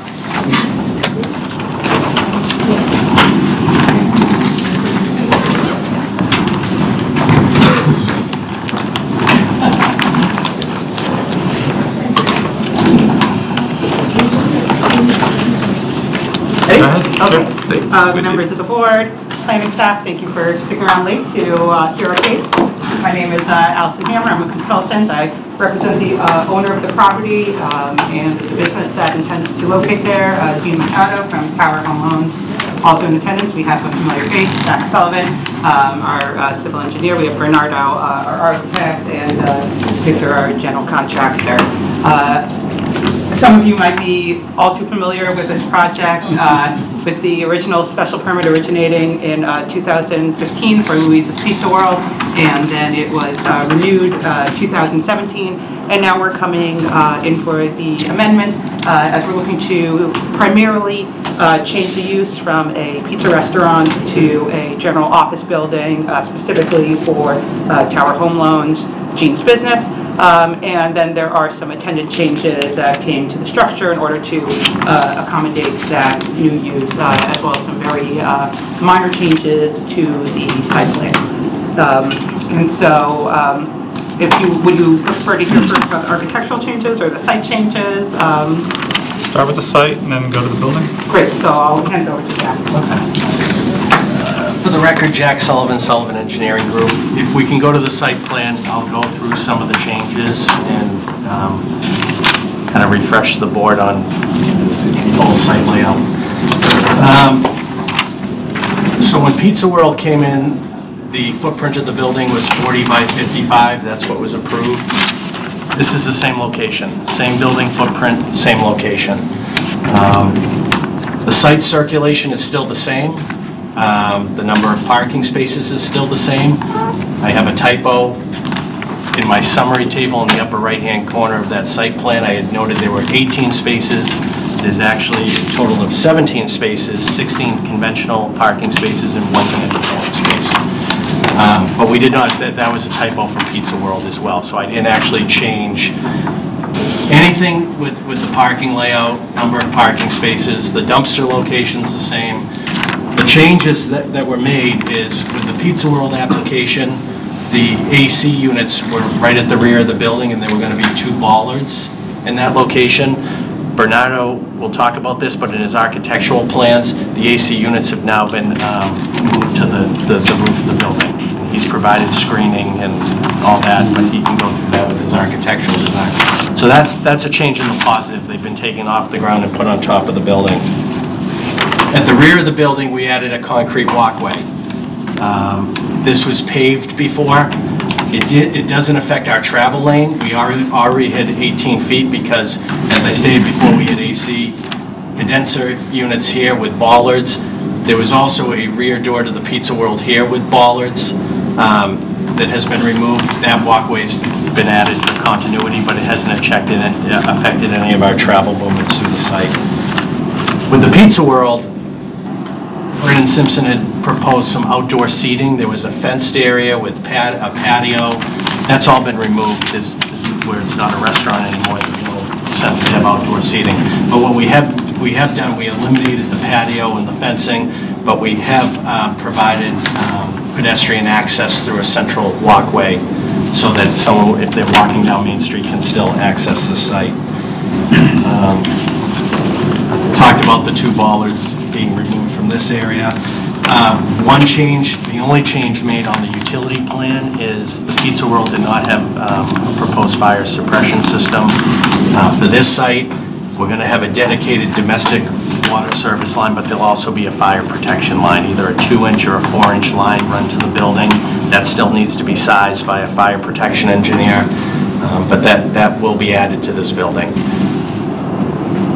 As far as Mass DOT, we had obtained permits with Pizza World for the the curb cuts and utility work. Uh, We believe those permits just run with the owner, not with the site, and I think they're expired anyway, you only have so long to act on them. Uh, So we're going to be reapplying to Mass DOT for, for both the curb cuts and the utilities.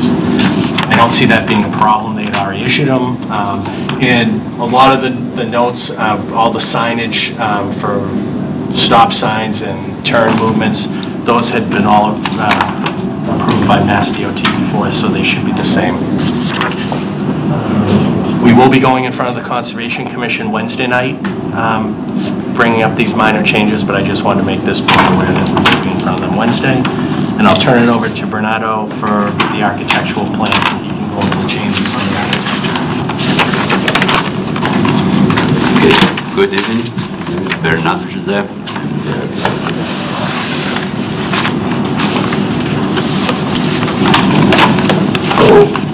Yeah, the first proposal for the building was, was the, the pizzeria, so when we took over, we decided to, to, in order to speed up the process, we decided to keep the same footprint, use the same foundation, the same volume, and the only thing that changes the, in, the, the layout.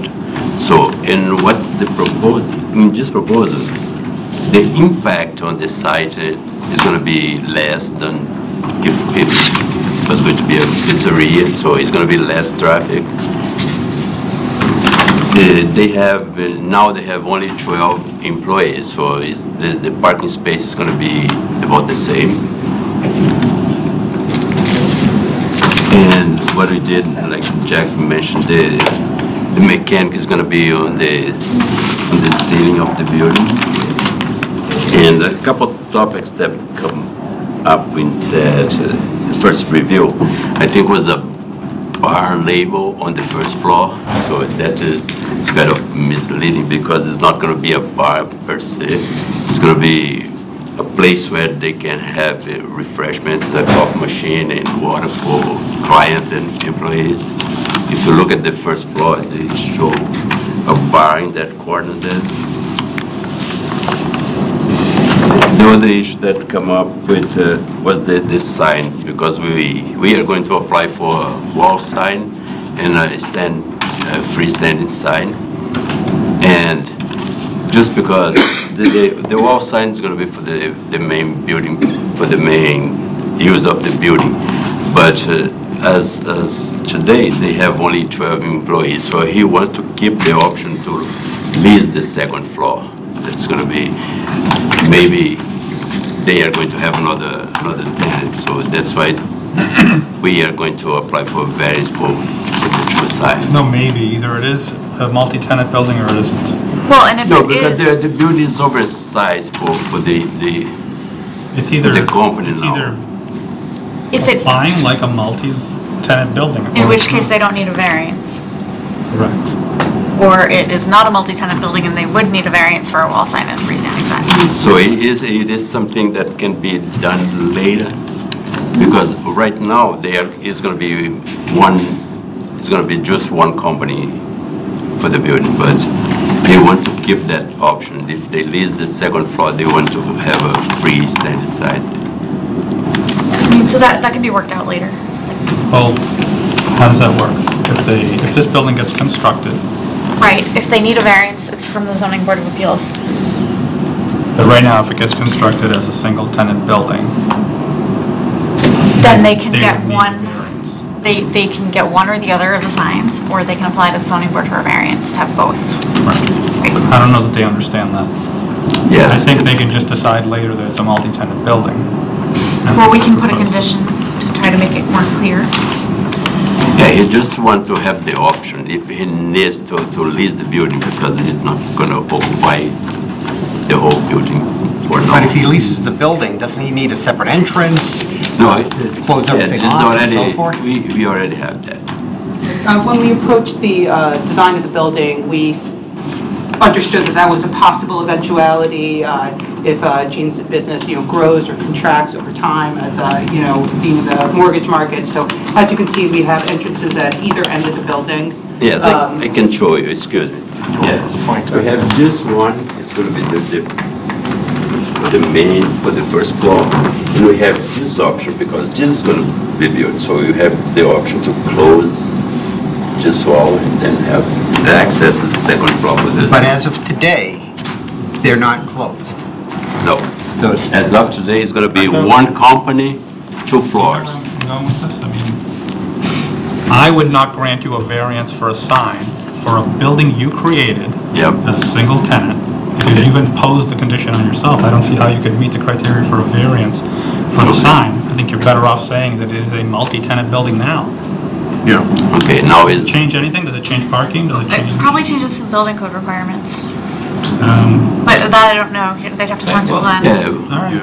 I'm as of saying. today, it's gonna be a single, Okay, single well, one. then- I mean, I guess, and it depends on what your anticipated tenants are, like, if you're anticipating office tenants, then this review with you guys wouldn't change, but if, if something different comes in that has different parking requirements, different, you know, then they would have to come back.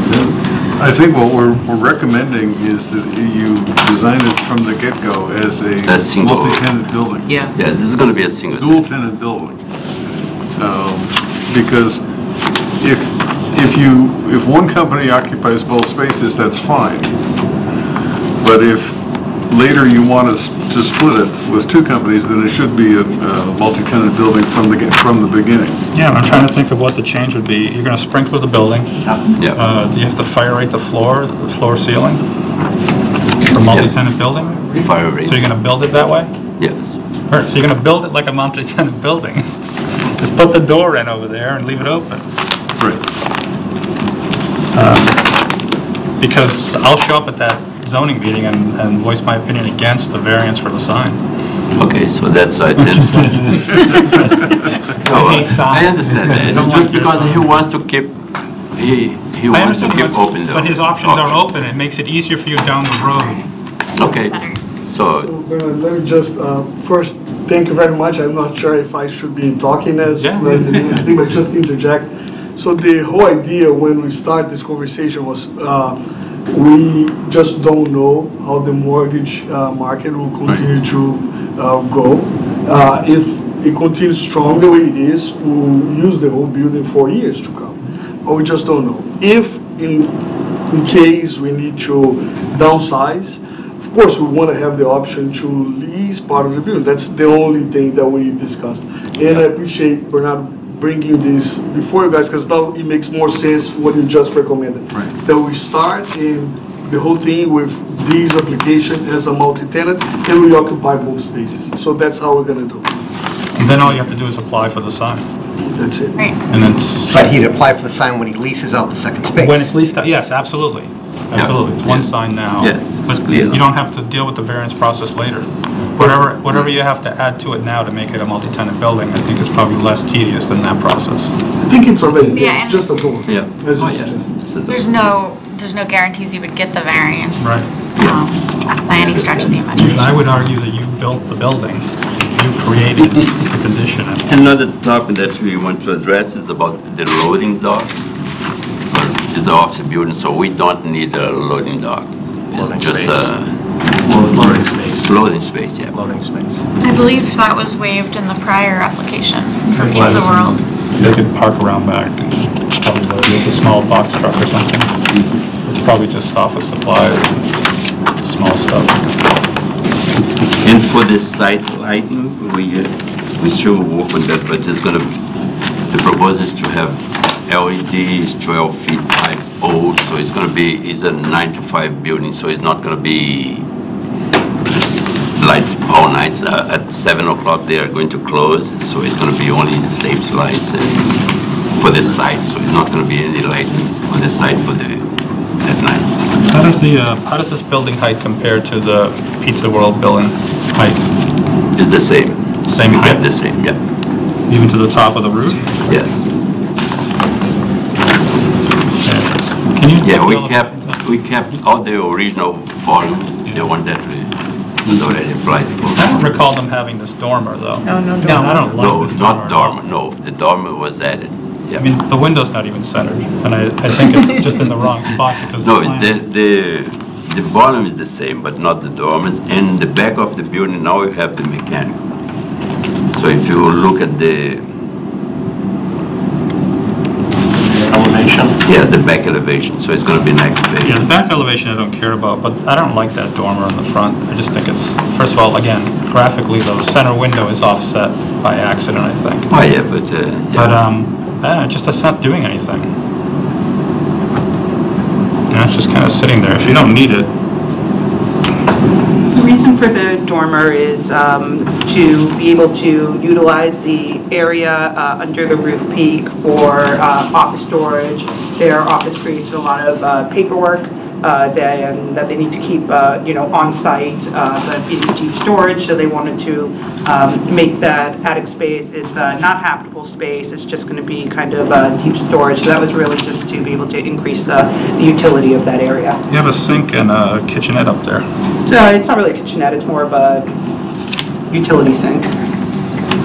It's like a sink, a counter, a coffee maker, refrigerator. Usually, yeah, the idea the idea when we start discussing that place is um, we need to keep some of the paperwork we produce for five years. So we're gonna put all the, uh, file cabinets there, and because employees normally today, that's how we do, we eat on top of our computers. We say, okay, if, if possible, if they can have a place that they can go up up there to eat and go back, so that was the idea when we started talking about this. Okay, but um, a couple things. Uh, Aren't you required by your insurance to keep the paperwork off-site? No. Really? So if it all goes up in flames, you have no backup anywhere? I know we do are. have everything scanned, But but it's sprinklered and fire separated. Yeah, so- Yeah, such a slurry of paper. Um, It sounds to me like they're using that space, not like storage space. Is that included in the calculation for the parking? No. No. what, what did you tell me, uh, Bernard, in regards to space, if it's less than fifteen hundred? Yes, it's 300 square feet for each, for each 300 square feet, we have one parking space. We have plenty of uh, 60. So it is included, uh, For the two, for the two floors, we have, you're required to have fif- 15 spaces for the first floor and the second floor.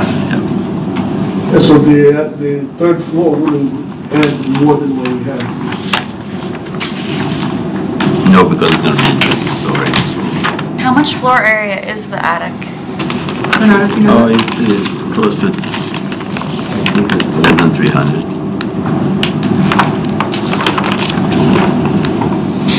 How can it be less than 300 when it's 34 by 10, just the one piece of the attic, so that's...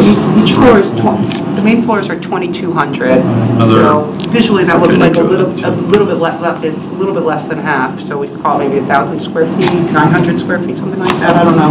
Oh, yeah, if if you Yeah, it's count the close to dormer, six or yes. 700 square Yeah. feet. Yeah, um, Not including the not counting, counting the dormer, yeah. Can you technically call a space that people eat in, like, a not a habitable space? Doesn't seem- doesn't seem right. Not habitable? Because didn't you say it's like not habitable space? Yeah, we're space? gonna- But then there's like a kitchenette in there, so. Yeah, we're, yeah, we're, the the intention was to, you know, keep the ceiling height under seven feet, um, so that's not technically, uh, according to the building code, habitable space, um, so that it would truly just be a storage area. Is the uh, intention. The plans show it at 7 feet. Yeah, you can have eight feet and it still be storage. Yeah. To be habitable space needs to be at least seven, but you can have a, a storage space that is 10 or 11 or 12, doesn't matter. Storage space, but you're showing tables up there. Office supplies, file cabinets, you know. You're showing it like it's a workable space, and let me ask you this question.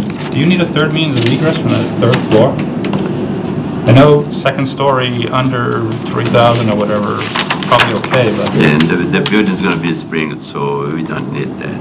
I don't know Just that the storage. sprinklers change how many egress you need from. I had changed because of the, the path of egress, so what is required? When you add the sprinkler system, so it No, single, single, space with a single means of egress is typically calculated by the number of people and the egress distance. Yes, yeah, but it's storage space, I mean, for the storage space, we don't need that. So I think what we'll, we'll probably, um, maybe we'll have to discuss this with the building department, but our, our understanding is that to keep that non-habitable space, um, that we can maintain the building code exemption that allows the single, lev- the single means of egress in the business use, two stories, one means of egress, um, single staircase, and only non-habitable space for storage in the attic. But shouldn't that storage be dead storage, not filing cabinets so much, it's more like boxes where you really can't get to it? It's gotta be fireproof, I think. I mean, it's gotta be protected. Yeah, I I don't, I don't know if there's any, I don't know of any requirements like that. I think, you know, this, the- these uh, documents need uh, not daily access, you know, like Gina was saying, they need to keep five years of backlog, so they just need to sit somewhere safe. um, But, you know, I don't think uh, boxes versus, uh, you know, a a fire-safe uh, cabinet is a,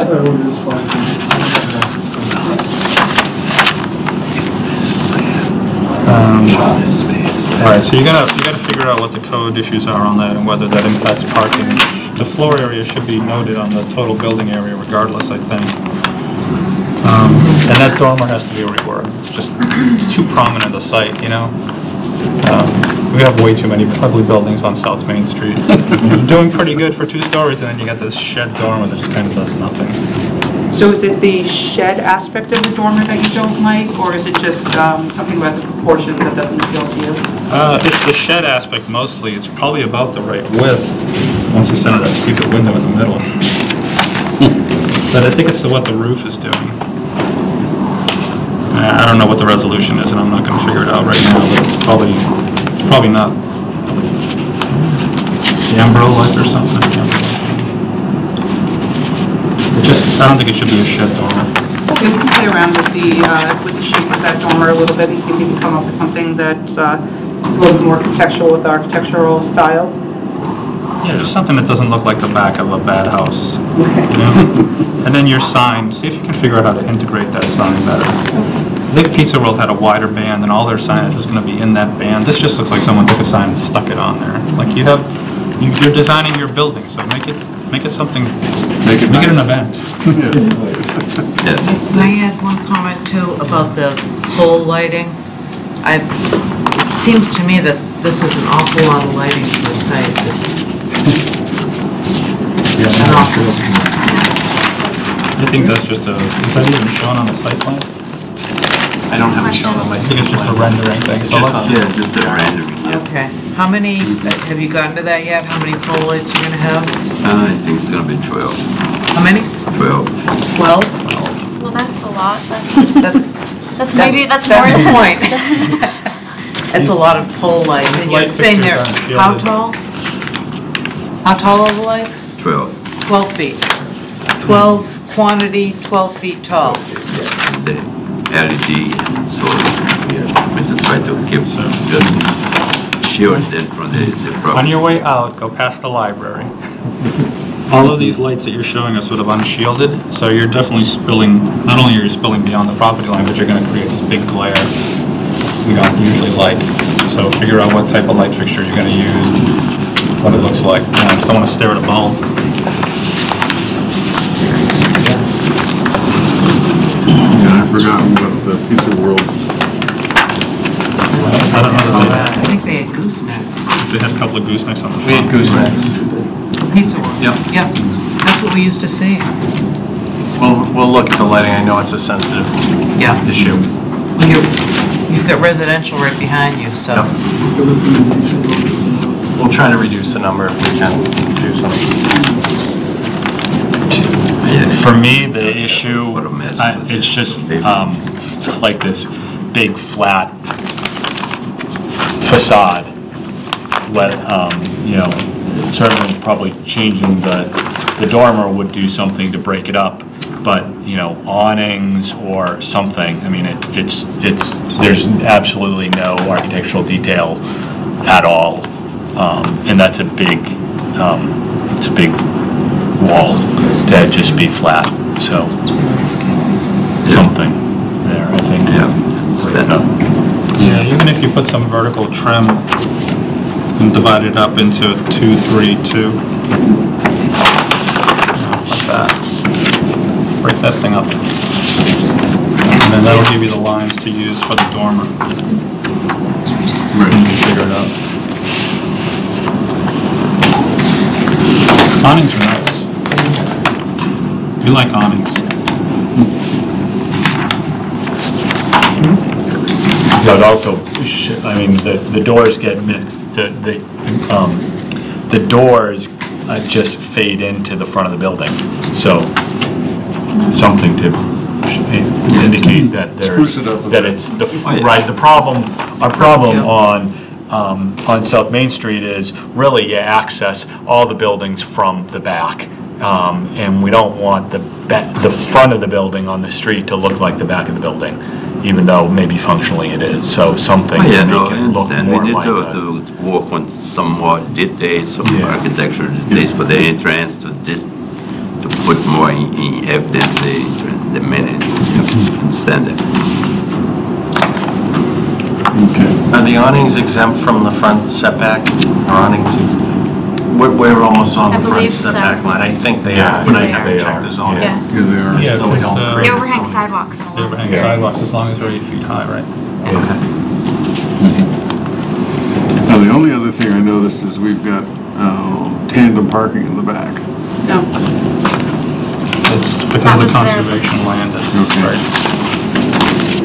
And that's the same as we had for Pizza World, those are gonna be employee spaces, and that's how they could manage, the manage the tandem parking. Mm-hmm. So that, that's where you'll put all your employees in those employee spaces, so those won't be open to the public, and they'll be, they'll be labeled for employees. It's certainly less intensive than the restaurant had the delivery people plus the, you know, people coming in, so it should be a much, much calmer site.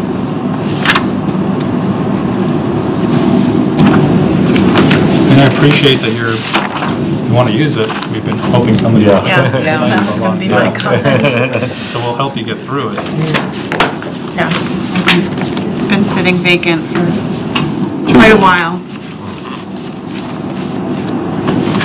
Okay, anything else? Can I ask a question? So is it possible that uh, the board can make the recommendations of everything that you suggest we do with the site?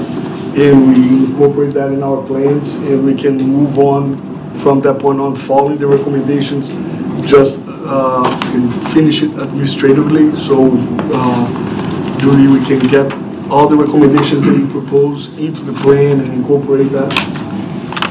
So we don't need to schedule another hearing? Uh, I mean, there's an issue about what that third floor becomes, what that is, how that's classified, what the building looks like. Um, You know, you might come back and not be able to do certain things or something. If that's the case, we we would have to come back anyways. And I can I- add one thing, ju- just, we have to go to the conservation meeting on Wednesday. If they want any changes and we close anything with them, we'd have to reopen. It doesn't hurt us to continue this, go to conservation, then come back to them with the changes. What's your schedule with DOT? Do you know? I don't know, I, I haven't submitted any materials yet. Um, I have them all set to go, I can put them in. I don't expect that they would reject it at this point, do we? No. Hasn't been a change in staff? Utilities is, the it- the utilities get submitted, the town's the actual applicant, because they own the utilities. Yeah. That, they'll sign off right away, because they sign off on the town applications quick. And they had already approved the entrance, and the, and the signage, and the radius, everything had been approved. So it's just a matter of getting it through the process at this point, not... So I'm trying to do a cover letter saying they approved it under, a- submit the old one, say, new owner coming in, we just want a same plan, give them the plan. With a new fee, they want their money. The concern from our end is just that, um, as you may be aware, the special permit uh, expires in May, um, that we're asking for modification under, so we're just anxious to, uh, you know, get our conditions and um, execute them and uh, get started. We can grant an extension, can we? You already did, and the um, site plan bylaw doesn't really have a provision for another extension. Um, But, like I said, typically, like, doing some site work is enough to consider that the permit's been being exercised. Um, I just, I don't know how it will go with conservation and whether you'll be able to start site work. Um, But that's not our problem. But- But you, so all you're really coming back for is the building look, the aesthetic, because the, um, the decision on what that third floor is in light, right? Yeah. And just so the board knows, we have an active order of conditions. So they could go in and put up a DEP sign, put in some hay bales, no matter what conservation says Wednesday night, even if they want site changes. So we can get moving with some of the site work. We just want to make sure, as Allison stated, we, we don't want to all of a sudden find we lapse for some reason. So we want to, we want to just keep our permit active however we do that. Well, I think what you're hearing from this board is that, for- you know, the footprint, right, which is what matters in that context. I didn't hear anything from us about the, the footprint and the, really sort of the site layout. The general So, site looks yeah. okay. Um, So, um, so you can take, I guess you can, you- I think that, that helps you sort of minimize your risk um, in terms of moving things along without this final approval. I think the best we can do.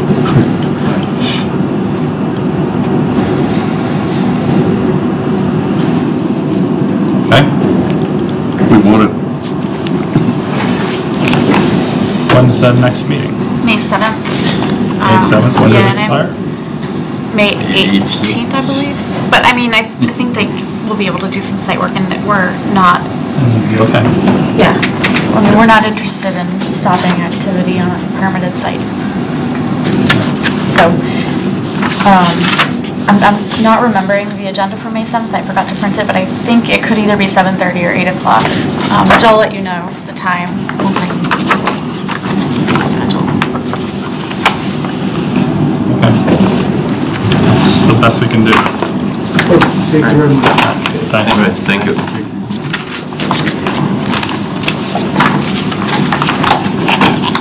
There are, by the way, a lot of happy people that there's not another pizza place. Okay. We need a good. Be in touch with you guys tomorrow. Well, if you want to, you know, shell out a lot of money, you can go to Anthony's. the- Do you guys want to make a motion to continue it to May 7th? Yes. Can uh, I get a motion to continue this to May 7th at 8:30? Date, time to be determined. Time to be determined. Yeah. So moved. All in favor? All right. Uh, Thank you very much. Okay, Thanks.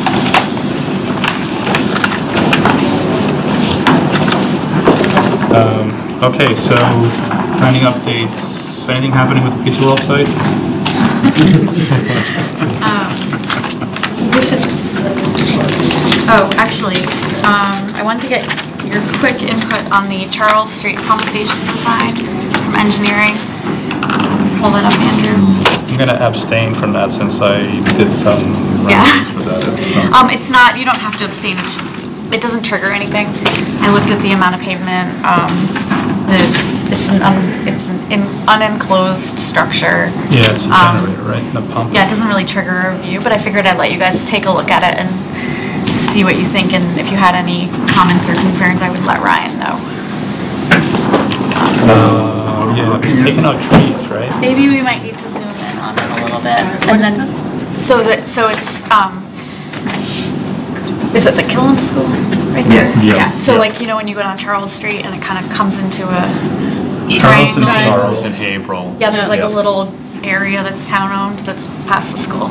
And there's a pump station proposed there. Um, The engineering division has been working on a design for it um, with CDM Smith. And Ryan brought it to my attention and I just said I would run it by you guys, see what you think. Yeah, so if I remember correctly, it's like one of the critical pump stations in town. And so this is, I think, proposing new pumps and probably backup generators, to make sure the pumps are controlled.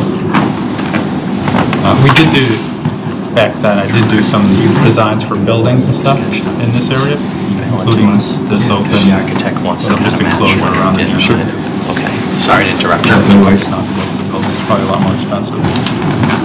Yeah, I do remember a discussion uh, on it being a building. something Yeah, it was a Substantial, small, it's- yeah. slope roof kind of shed Yeah. thing. And then the idea with the, I think the town, I think what Ryan said was that the town said, no, we don't want that, and that would have triggered a more comprehensive review, and so then this was, what Yeah, was decided. Maintaining a building and all of that to go with Right. it. Right, it's a little more work. Um, So if I remember correctly, when we were, when I originally did some renderings for this thing, there were trees that weren't showing up in like some of the Google images and some of the site plans that have been recently planted. So hopefully somebody's surveyed it at this point, figured out where they really are. um, trees that would be impacted by this, that were recently planted. Yeah, that was, that's what I recall from maybe a year ago. Where is this? So corner of Charles and Haverhill, and then there's another couple of cut-throughs, and I don't know what they're called. You can see that one up there, so that this, that way Two leads to cut-throughs, yeah. Killam, and that way leads to Burbank.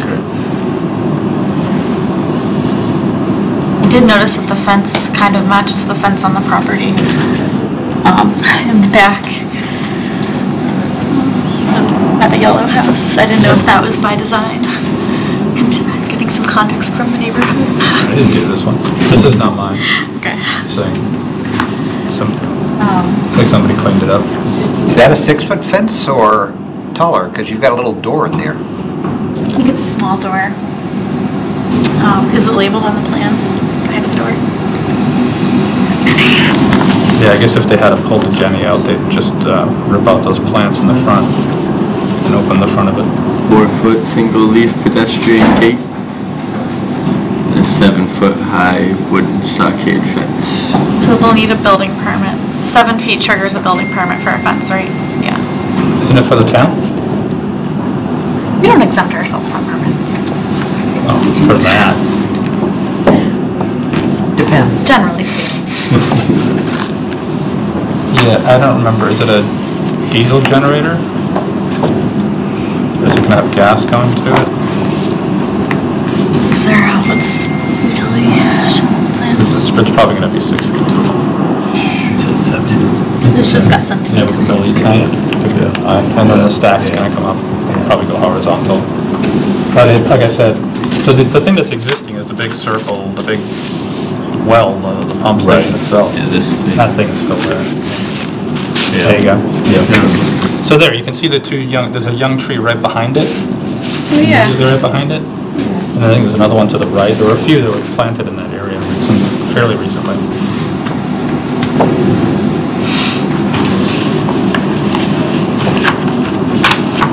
That's all I have to say about that. No major You're concerns with it? Mm-hmm. You can put a new road in, that's a new road in there, right? There's, it's a little bit of pavement. I think it's about 200 feet of pavement. I mean, honestly, I don't know if the Google site is any better, but the the triangle itself could use some TLC, so. Yeah. Yeah, it looks like they're proposing to repave and um, some curbs. Yeah. I think Yeah. that, the- that second cut-through is odd, right? There's two cut-throughs Yeah. through that, Yeah. and the second one, I don't, it, it's probably there because of that. Because I don't think people, I don't think There's you one would right here, right? typically use that unless you missed the first one. Yeah. If you miss that one, you can just take the turn. Right. Yeah, Look at that. seems like it's un- Just hanging out unneeded, unneeded pavement, but uh,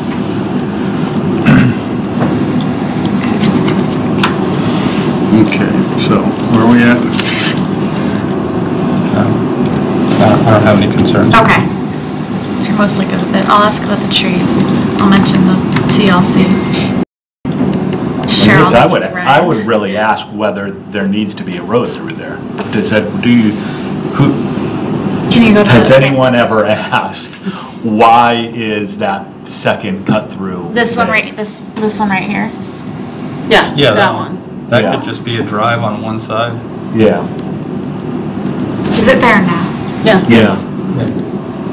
But I'm not I not mean, I'm the sure, opposite. I don't think I ever knew about the other one. I'm not sure. Like, I know the little one. Yeah, I'm not, I mean, there only needs to be one. Like Nick said, if you miss the turn, you just turn. Right, you can uh, just, yeah. Yeah, so. All right, I will pass I- this I- feedback it's a- along. It's a good question. I mean, if there's a reason for it, fine. Unless there's a place to park the trucks, that's the only thing I can think of that aren't in the way. Yeah, but they could just have it open from Charles Street and close it off on Haverhill. Right. Or do like every other Park um, the street. person with a truck does, is just park wherever they want, right? You just pull up on the lawn and Then what park. do you, you can put grass there it'll just get all messed up again, right? They'll be parking on it, it'll get all gross and, gravel down, I guess. Yeah. You should have some place for a truck to park that isn't grass. Yeah, especially I guess if they're gonna pay to repave and edge all of that. Yeah. We should think about why we're doing that. Right.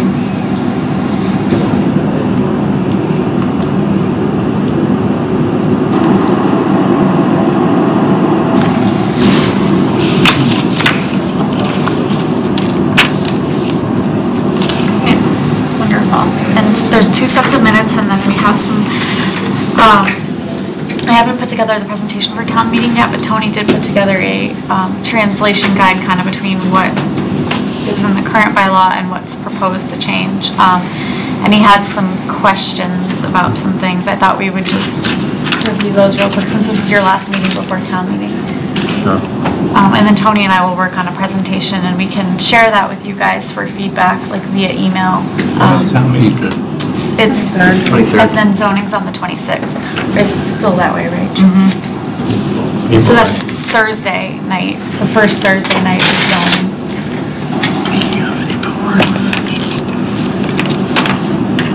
So what would, do you want to do first? Town meeting stuff or minutes?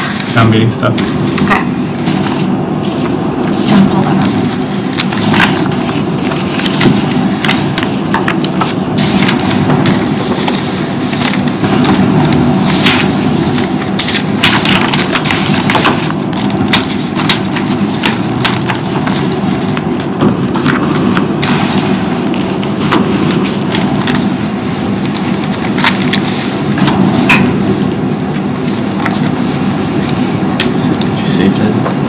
Right here.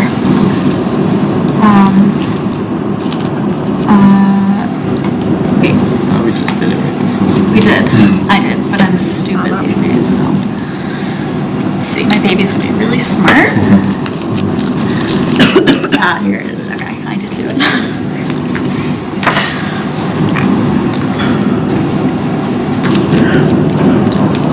So, Tony, do you wanna walk us through what's going on? Basically, what I did was I took every single uh, section, put it on the left as proposed, and put the current on the right.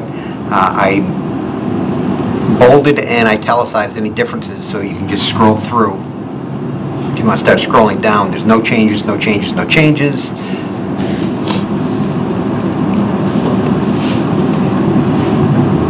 And then we've got the first change where the frontage is moved over to the table. Same with the uh, 6231. Change, more moved to the table. Fixed 84 to make it 80-4. Now, Scrolled through it and it read, it read fine. I didn't check the information to make sure that it was correct. Uh, The highlighted yellow or anything I had questions about, where it says based on shadow studies submitted by the applicant, if the applicant's studies are incorrect, what happens? Applicant comes in and says, my studies show that it doesn't put a shadow on a building. And then it does. Is there, a- is there an issue there? Is there a way of correcting it? Maybe after the fact? After the fact. Uh, Mirrors? Not- Probably not without a lawsuit. Well, what happens if somebody does something, somebody puts a building and doesn't comply with code? Gets torn down. The foundation goes in the wrong spot or something. That would never happen. That never happens. Never happens.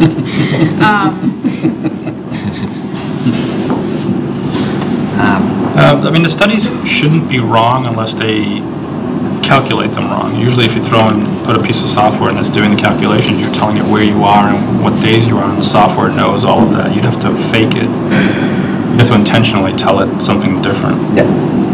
So I guess if we ask for the studies, we should make sure we look at them uh, in detail to make sure that they're correct. Right, and the studies are part of the site plan review discussion, um, and usually they're prepared by architects. Architects are lying, cheating. But they're putting their, their word on it. They are. If we ask them to seal it, then we know it's real. Yeah, we could do that. Do that. We could say se- se- um, Sealed document. stamped and sealed. And then it'll be right. Yep. Um, okay. The next one has a change for 75 feet down to 50 and 50 feet down to 20. Uh, Hotel or motel, their setbacks. Section C, 25 acres deleted.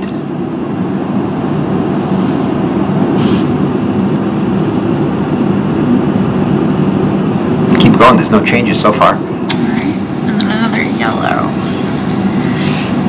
Uh, Buildings per lot, I misread this the first time through, but that's okay because there's still a reference in the PUDI to uh, section 6.2.8, I think, or 6.8.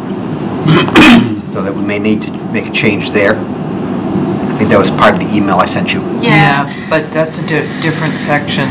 Yeah. Yeah. So it's not in the four corners of what we're dealing with. So any of those cleanup things that you mentioned in your email, we won't be able to do at this town meeting. Okay. But we'll keep in the back of our minds for the future. Yeah. Um, Two more principal buildings permitted. So, uh, go back up to the top one. Top. 6.2 point, 6.2 and 6.2.7.2 is just a, a significant change, though I haven't highlighted it, because there's so much to highlight. Uh, The old said they had to be 50 feet apart, and the new one has a bunch of minimum distances and total distance between to- proposed buildings and so forth. Right. Sorry, what is it we're looking at right now? Uh, six- The two or more principal buildings are permitted on the same lot. The original rule was basically they had to be at least 50 feet apart, and that was it. Yeah, well, that's not, not, not the case. And that's not, and the proposal has Oh, I see. several different adjustments. I, I see, okay, right, yeah.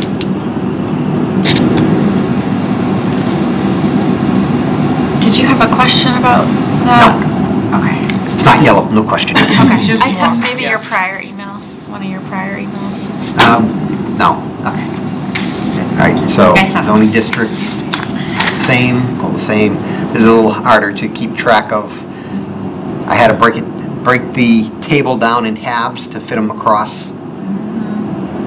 So, the, the major changes here are the 20 feet, six and eight. So I think we need to highlight these cells that have changes in them, because Yeah, I wasn't certain how to do that in black and white. people who are, Add a, uh, um, do it in the add PDF. a box over it and make it transparent. It'd make. Well, I You wonder- want it- You want it white on a gray background? You want it with a gray background? Um, All I'm saying is that, first of all, it's very small, and at a distance, Yeah. people who are colorblind won't see the red, first of all. Well, I'm thinking, well, two things. First of all, is this overcomplicating the table and would it be better if we just provided, like, the table with the bold and cross out version of the table? Yeah. in the format that it's in already, that's in the warrant. And then secondly, um, I was envisioning this as more of a handout than like, I, I mean, I wasn't really envisioning I was gonna make my town meeting presentation with this stuff in it. I think this is way overcomplicating what should be uh, in PowerPoint. Okay, that's fine, but we're gonna get this But this, I would, members. yeah, like, At the meeting or before? Part of the articles, part of the um, warrant? it's- So- the warrant's already Warrant out. published. Um, This so would be a would handout, you could put it on the uh, website, but more than likely it would be picked up the night. Most of the town meeting members aren't going to see anything or review anything until that night anyhow.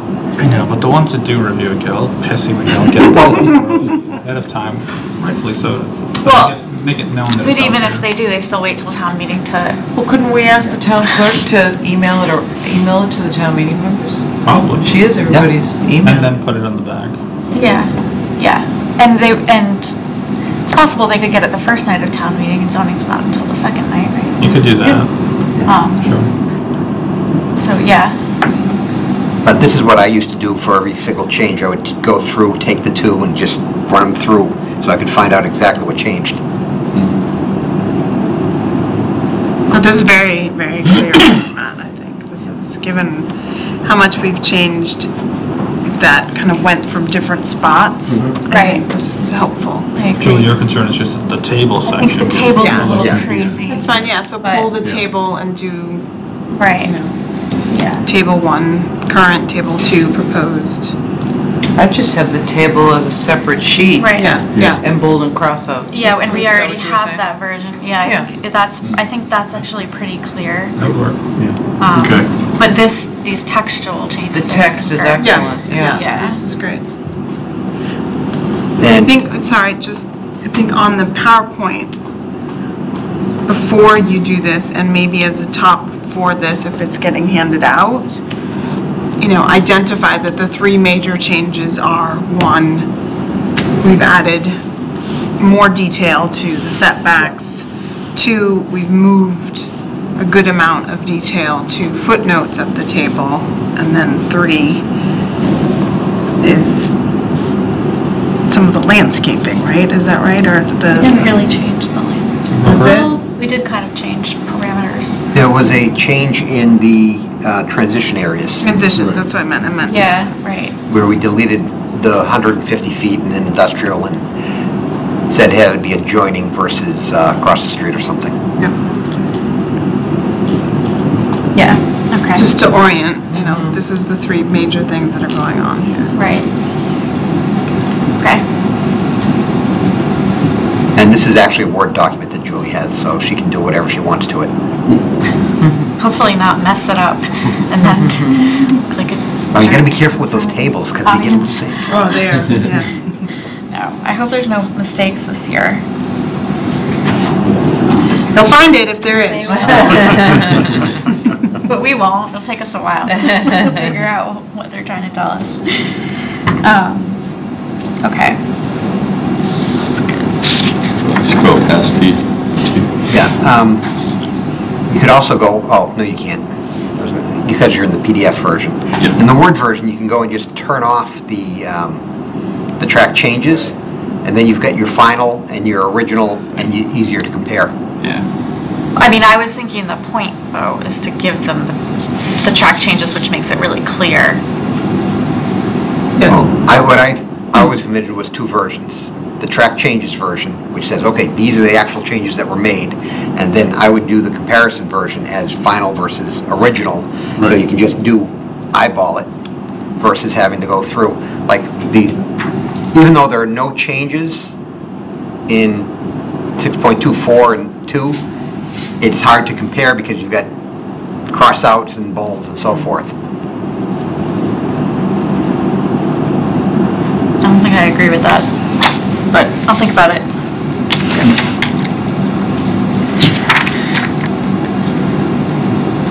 As I said, you can do what you want with it. Mm-hmm, mm-hmm, mm-hmm. Um, yeah,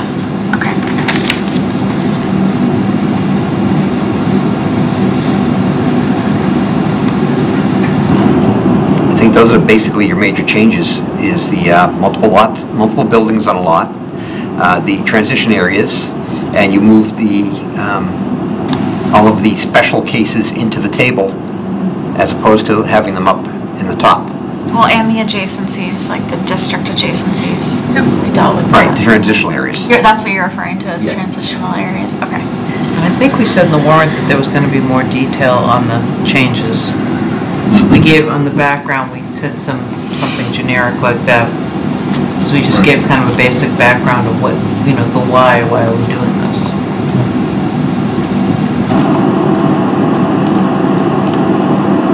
And then the presentation itself, I think the last two, well, at least the last one, fo- we we followed a pretty good um, approach that I think made sense as long as there weren't any, any, any uh, typos or anything that got caught up, but where, where we, um, you know, sort of discussed what the overall approach was, what the benefits of each change was, and sort of kept that at the high level. Yeah. Um, And then, and then this would be, you know, great Right. to get into that detail. Right, If anyone wants are. to really get into it, um, Which probably would, you know, when they're trying to say, I don't like that word, or this is the wrong, having this that everyone can then look at is better than trying to fumble through. yeah, yeah, prob- yeah, probably, So I think that should make it clean if we do. yeah. Thank you for doing this. Yeah, Yeah. it's a lot of work. Thank you. Not that much. You have to have a really big screen. Oh. And apparently he does it for all zoning all the time, and he's only now recently on the CPDC, so. He was gonna do it anyway.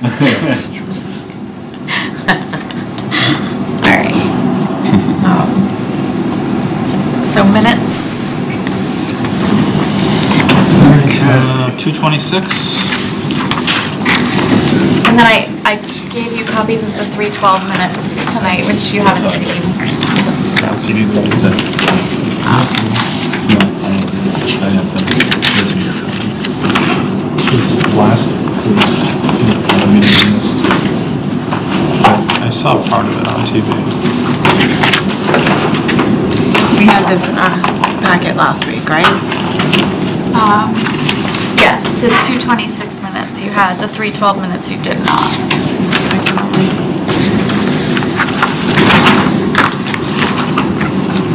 There's a lot of words here. Oh, I'm sorry. That's why these take so long lately. Somebody takes very good notes. Yeah. Kim writes super detailed minutes. I like it, people opine. Use that- yeah, I use the same like words a lot. But try to mix it up next time.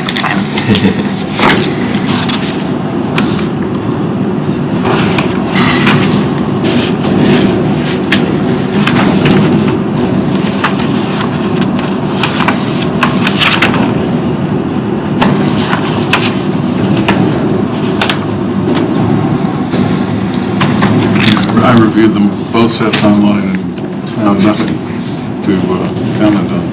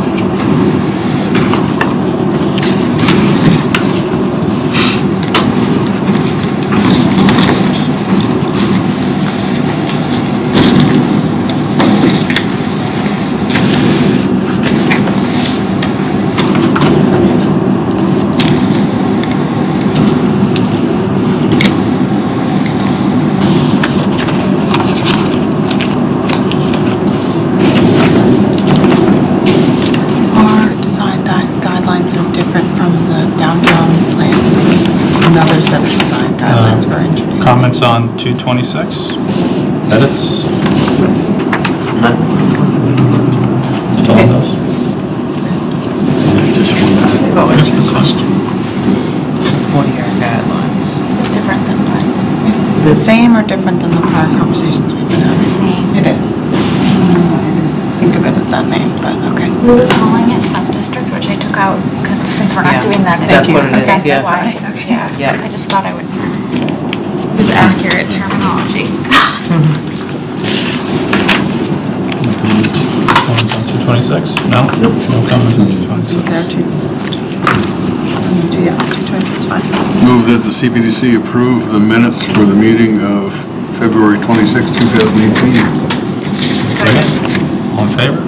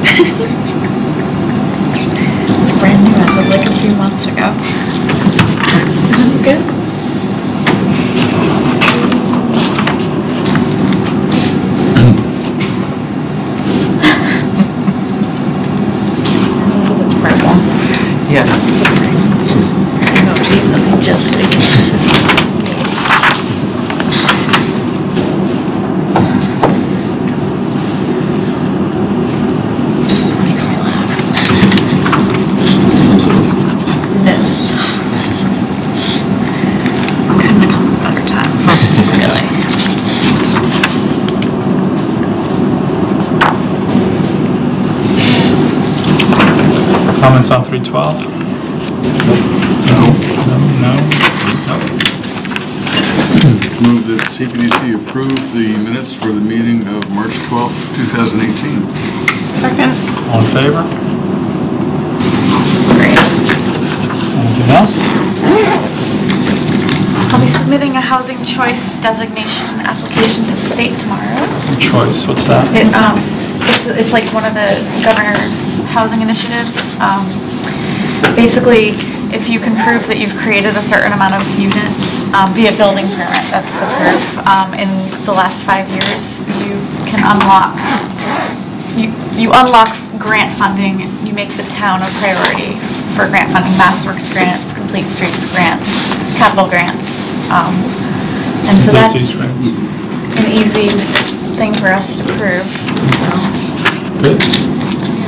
It's gonna be submitted tomorrow.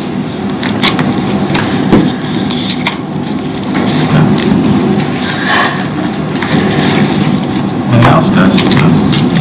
Lakeview Eden is continued to uh, May 2nd. That's correct, and it will be at the library. Library. Yep. May second, okay. At the library? Oh, boy. I'm gonna have to make a big comment. Send me there. Second. Did put that, there it is.